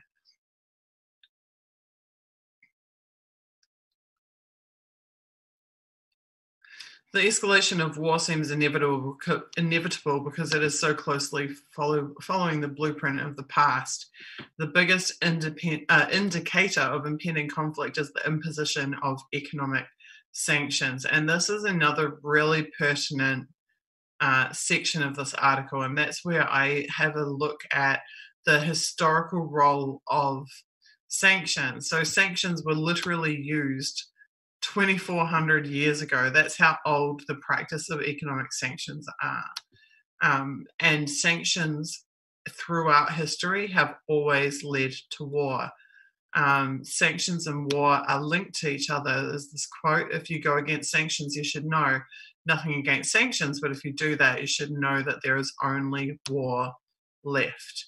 You can sanction and sanction and sanction, but eventually it leaves you with no other option than invasion. Of course, some may argue that sanctions are active warfare, and certainly the method of murder, economic or military, made no difference to the half a million Iraqi children who died as a direct result of sanctions in the 1990s. Sanctions imposed by vampires held in place even after the premises under which they were imposed had been proven to be false. And this is the thing imposing sanctions is always done more prevalent, prevalently than lifting sanctions. And lifting sanctions is usually for cosmetic effect. Um, they will lift one or two sanctions, but it's almost like it's um, irreversible.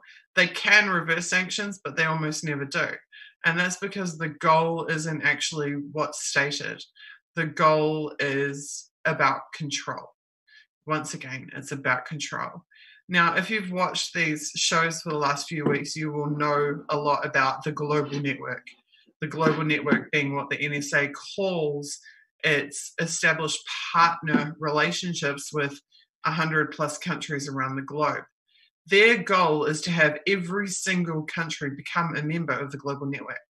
They want to monopolize the entire planet and the and the intelligence sphere and the data and networks of every country on the globe sanctions are more about bringing a country into the part into the arms and military and industrial complex than they actually are about achieving any tactical economic aim.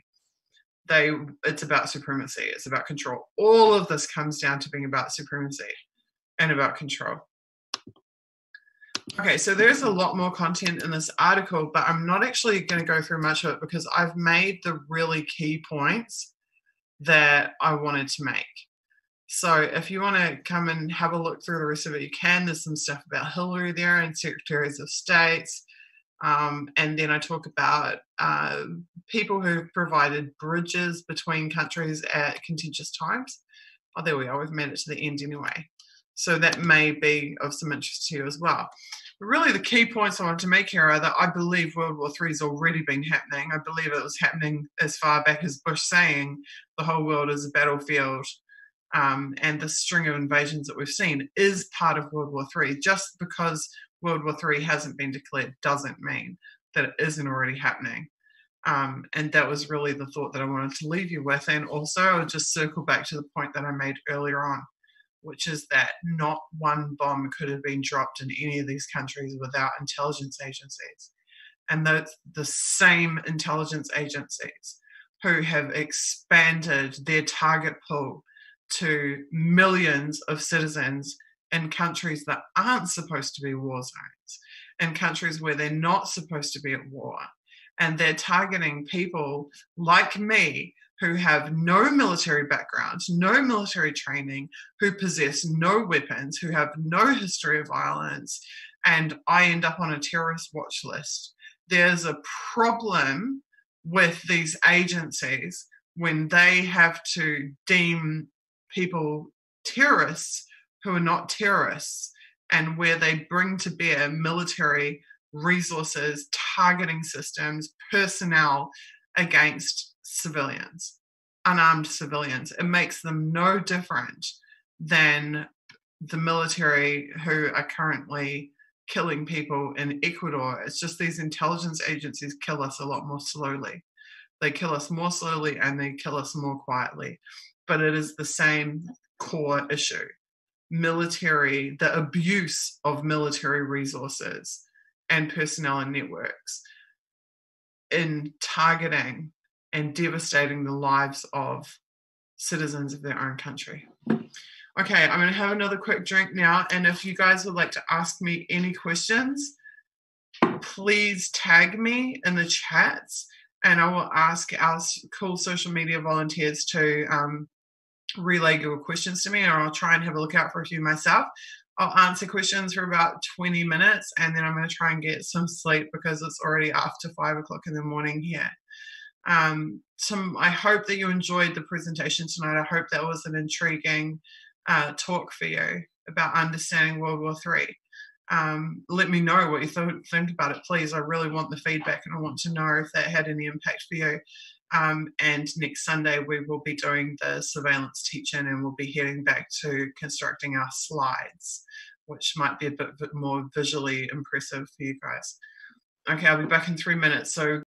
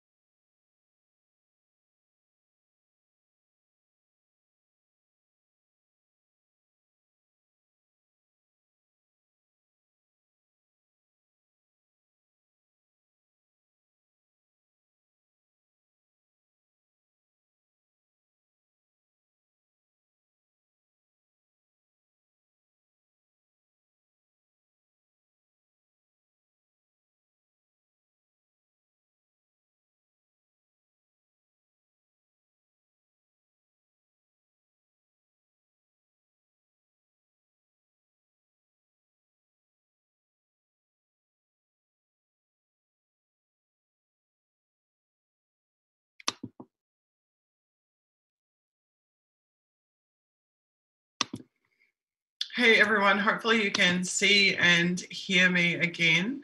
Um, we have got a ton of questions and a couple of discussion topics. I'm going to try and knock them off really quickly. I saw someone talking about Amy Goodman. Um, I was disappointed that Amy Goodman kind of toed the line and was making Julian Assange a little bit persona non grata post 2016 election. Other than that, um, Democracy Now! is actually one of the best news sources in terms of protest movements, activism events around the world. They generally have pretty fair coverage about them, and I appreciate them as a news source for that reason. And I do watch Democracy Now! for that reason. Um, however, I do wish that they had had a bit more courage in standing by Julian and WikiLeaks. Unfortunately, they were obviously feeling the pressure from their support base, and they did lapse somewhat in their support of Julian and WikiLeaks in that post 2016 election period. Um, I see somebody else asking about TPP.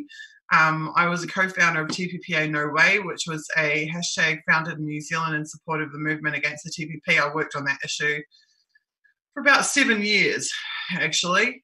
Um, worked very closely on that issue and in support of serious major mass protests against TPP. I've often said that the one thing that Trump has done that I really was very happy about and applauding was when he ditched the TPP. And I'm ashamed and disappointed that my country, New Zealand, particularly Jacinda Ardern and the Labour government that came in in 2017, one of the first things they did was to fast track and push through with the TPP ahead of any uh, participation by the United States. I think that was shameful. I think it was a betrayal of their base. Um, I think it was a betrayal of the will of the people of New Zealand and of much of the world. And it was a total corporate sellout. I would point out that WikiLeaks was the most significant publisher in terms of information about TPP. They uh, got their hands on leaked chapters of the TPP and published them at a time when nobody else had. Their reporting was incredibly significant. They also engaged experts around the world, including Jane, Dr. Jane Kelsey, who was the founder of the New Zealand movement against the TPP, um, and had those uh, experts and specialists uh, d- dissect and analyze and report on the significance of the uh, provisions of the various chapters of the TPP. Yet again, WikiLeaks provided an invaluable public service on that. Now, some the question was specifically whether I discussed TPP in terms of understanding World War III. The answer to that is no, I didn't. However, TPP is like the big daddy version of the 90s uh, so called free trade agreements. Um, and I did discuss TPP last week when I was talking about economic supremacy um, and how the TPP was actively supported, promoted, um, and actually called an imperative to national security by the intelligence agencies. The TPP was absolutely a priority. The passage of it was the, a priority of Western intelligence agencies, and that in and of itself says a lot. Um, someone else on the topic of pretext of war have i read any analysis of the establishment of naval bases in the pacific um, if you're talking about the pivot to asia then the pivot to asia is actually covered in my article understanding world war iii i skipped past that part but if you go to that article and you control F pivot to Asia, I do actually talk about that aspect of it. So you can have a read of that there. Um, and I have talked a lot in um, other articles I've done as well about that. So I assume that would cover it off.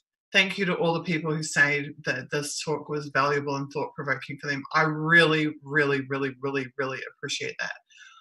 Someone else, do I have any opinion on Israel and in particular Netanyahu driving the wars in the Middle East, i.e., he was pushing to invade Iraq pre 2001 Genie oil, etc. Um, absolutely, Israel is a major wager, wager, or Israel constantly wages proxy wars. Um, they prefer to fight on other people's soil uh, rather than their own. They are quite happy with their apartheid regime on I it feels wrong to even say their own soil, but effectively their own soil, soil. But they prefer to take their fights to other people's countries and to fight in those countries. Now, I did cover off some stuff about Israel when I talked about the two eyes. In the very first episode of the series, I did an overview of all of the different collections of eyes of the intelligence agencies and talked about how US Israel have a so called special relationship that is actually above the level even of the Five Eyes, the Five Eyes being US, UK, Australia, Canada, and New Zealand.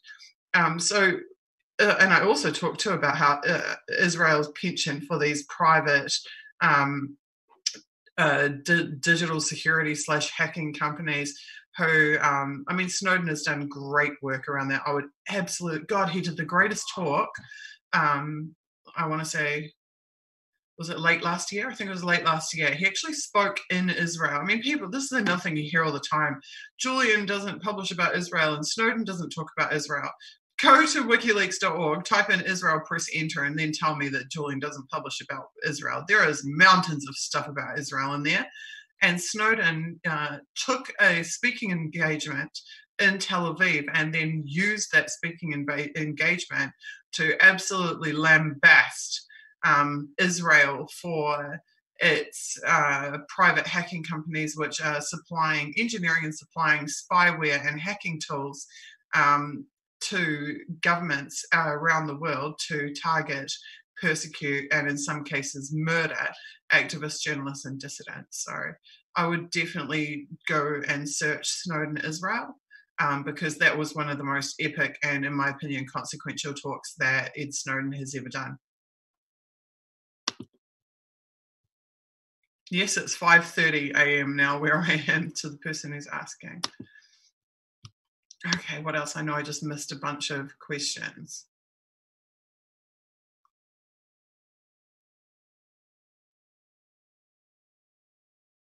What do I think will be the final nail in US empire? I think the weight of its own structure is what will be the final. I mean, I'd like to say that the final nail in US empire would be the um, people fight back against it and they don't stand for this anymore um, because people still do have the power. And that's also part of what we're seeing in Ecuador right now. Um, the Ecuadorian government is absolutely shitting themselves about the display of people power that's on the street in Ecuador. That's why they're rolling out the tanks. That's why they're acting like it's Egypt. Um, I would like to think it's, it's the people, a massive people taking back the power, people becoming aware, people becoming learned and knowledgeable about the global network and acting to shut it down.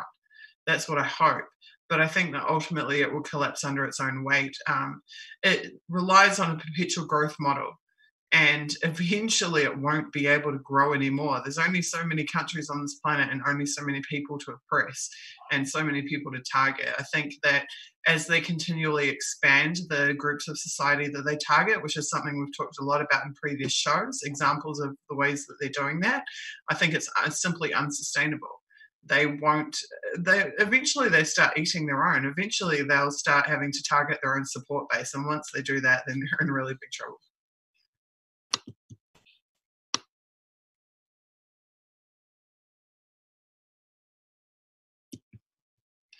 okay i feel like i just missed a bunch of questions actually. Um,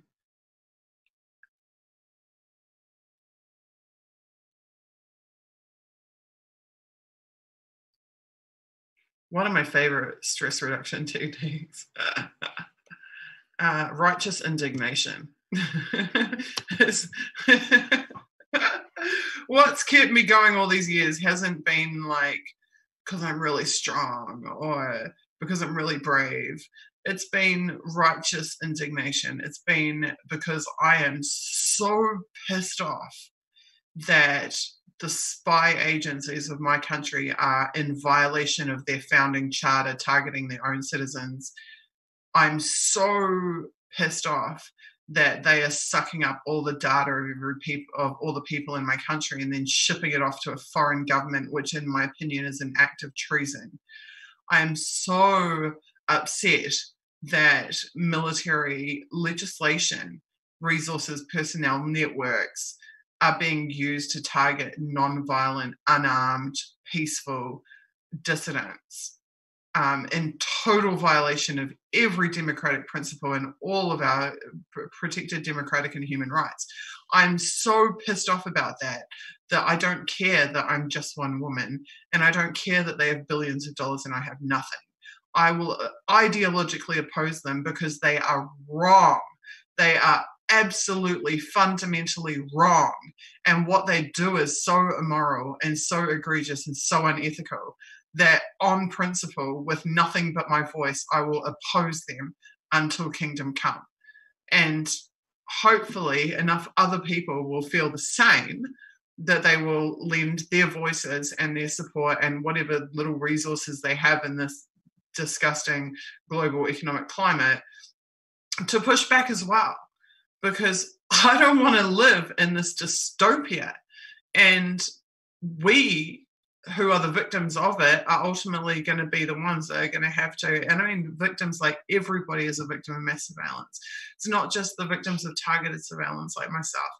Everybody is being traded and their private lives are being commercialized without their consent and that data is being shared around the world with foreign countries in t- total violation of our civil rights we together have a chance at shutting these guys down when it becomes socially unacceptable to work for a spy agency that's when we'll make some progress when it becomes socially unacceptable to be associated with the targeting of civilians um, then we'll make some progress. And that's the point that we've got to get to. We've got to get to the point where it's like, oh, you're applying to work at the NSA. Oh my God, how shameful. How can you be a part of that? Then then we'll make some progress. And you know, I talk about like wanting to abolish these agencies, and it's the type of conduct that I've seen and witnessed and been subjected to that makes me think they're beyond help and need to be abolished. However, if they were to stick to their actual founding charters, like if they were to spy on other spies or diplomats or foreign diplomats or whatever it is that they actually supposed to be doing, I'm okay with that. I am not okay with endless war, perpetual war, um, killing civilians, extrajudicial assassinations, uh, spying on dissidents, destroying the lives of dissidents. I'm not okay with the privatization of military functions. I'm not okay with all of these private intelligence companies and spying companies and mercenaries and everything running around targeting people for profit. I'm not okay with any of that. But if they could take it back to day one and do what they're actually freaking supposed to be doing on public dollars, that in that situation, I would never have come to oppose them. I would never be taking a moral stand against them. I wouldn't know any different because I wouldn't have been dragged into their insane games and subjected to their shit. So it's not that I just think all intelligence agencies should be shut down, but I think they should be doing their actual job, which they're actually founded to do, which was not to target their own citizens and not to target civilians who are unarmed and who've never hurt anyone, never going to hurt anyone. So that's my little lecture on that.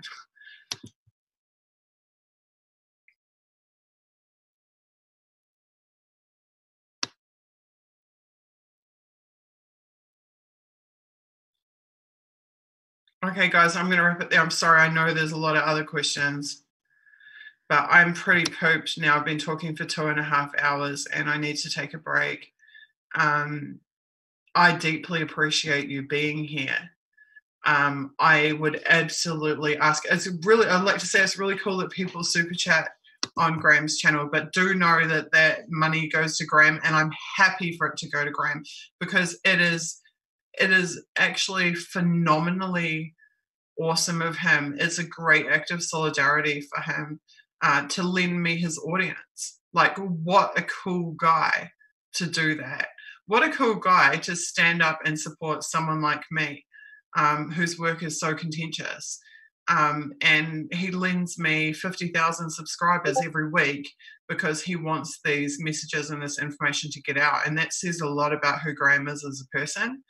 Um, the fact that he's willing to publicly stand by me and stand by my work and my situation says a huge amount about him and that he lends me the platform that he's built from his own work to do it. I greatly respect and greatly appreciate.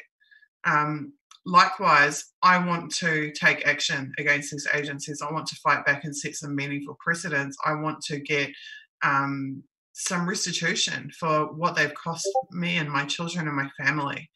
Um, and to do that, I do need you guys to donate. And to donate, you go to one versus five eye.com slash donate and please give generously or if you can't which i completely understand there are so many people that are in a position that they simply don't have 50 cents you know to their names that um, instead you just pick up these messages these links promote the short videos any other content on the youtube channel the website any of it spread it as far and wide as you can because as you can see no media is admitting that there is a woman and two kids living in exile in russia from new zealand for the last three and a half years because of persecution by state agencies.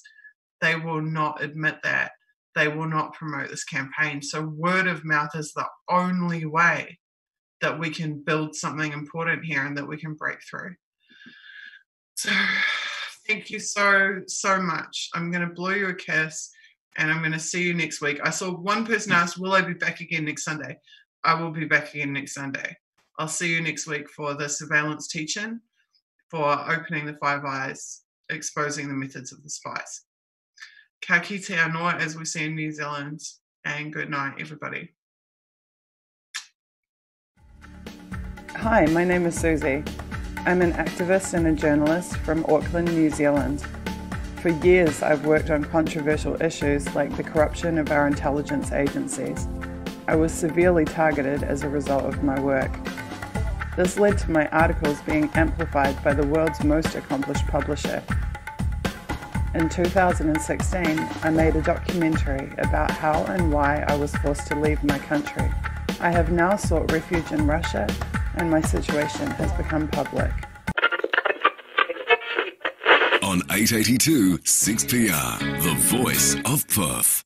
It's 12:30 right now and Tony with you and I'm really happy we finally got through to Moscow to my friend over there Suzie Dawson. You're listening to a 95BFM podcast. Suzie Dawson is a Kiwi activist and journalist who worked as a member of Occupy Auckland's media team at that time. Now, five years later and following involvement in GCSB and TPPA opposition, she's seeking asylum in Russia alleging she has been spied on, harassed, and threatened by the police. Welcome back to The Wire. Now, finally on the show today, last week it was announced that Suzie Dawson will be the new leader of the Internet Party. Welcome to the Jimmy Dore Show. We have a special guest with us. It's Suzie Dawson. She's an activist, journalist, former party leader, and current president of the Internet Party. Suzie Dawson, an activist and citizen journalist currently seeking asylum in Moscow. Suzie has written extensively on surveillance and the deep state and claims it's not safe for her in New Zealand. My name is Craig Tuck. I'm a lawyer from New Zealand. I act in the area of international human rights. I act for Suzie Dawson, along with a group of other lawyers throughout the world who act for journalists and dissenters in high profile cases, including the case of Julian Assange. As far back as 2012, Suzie has been trying to warn New Zealanders and other citizens around the world about state targeting and surveillance of citizens and the methods being used to do it.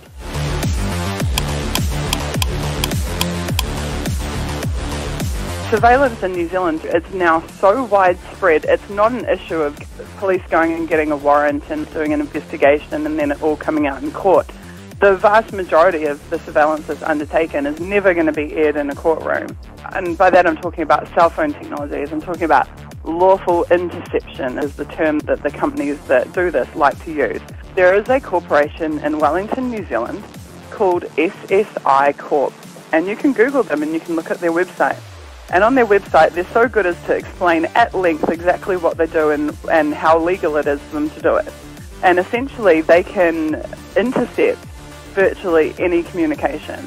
If they have someone at range, they can hear your actual conversations, but also through cell phones, they can essentially turn them into microphones and hear any conversation that's had within vicinity. They can see your text messages, they can see what photos are on your phone, they can see what files are on your phone, they can read your emails, they can just intercept all kinds of information.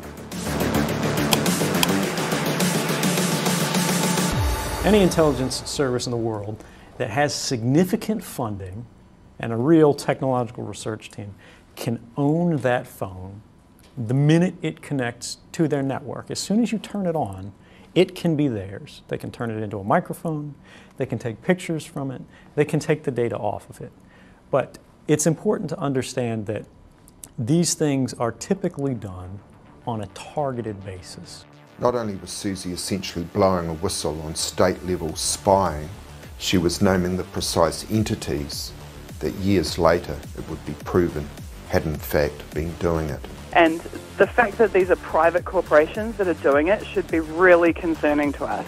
The crowd that they got, that they outsourced it to, was TCIL, which was, I believe, Thompson and Clark Investigations Limited. The state is contracting a private company to surveil you. To me, that's really immoral. Absolutely immoral. Some six years later, in December 2018, an official State Services Commission report confirmed that New Zealand government agencies had been employing Thompson and Clark Investigations Limited to target New Zealand citizens. This is a private company that had essentially been instructed by state agencies and departments to spy on citizens.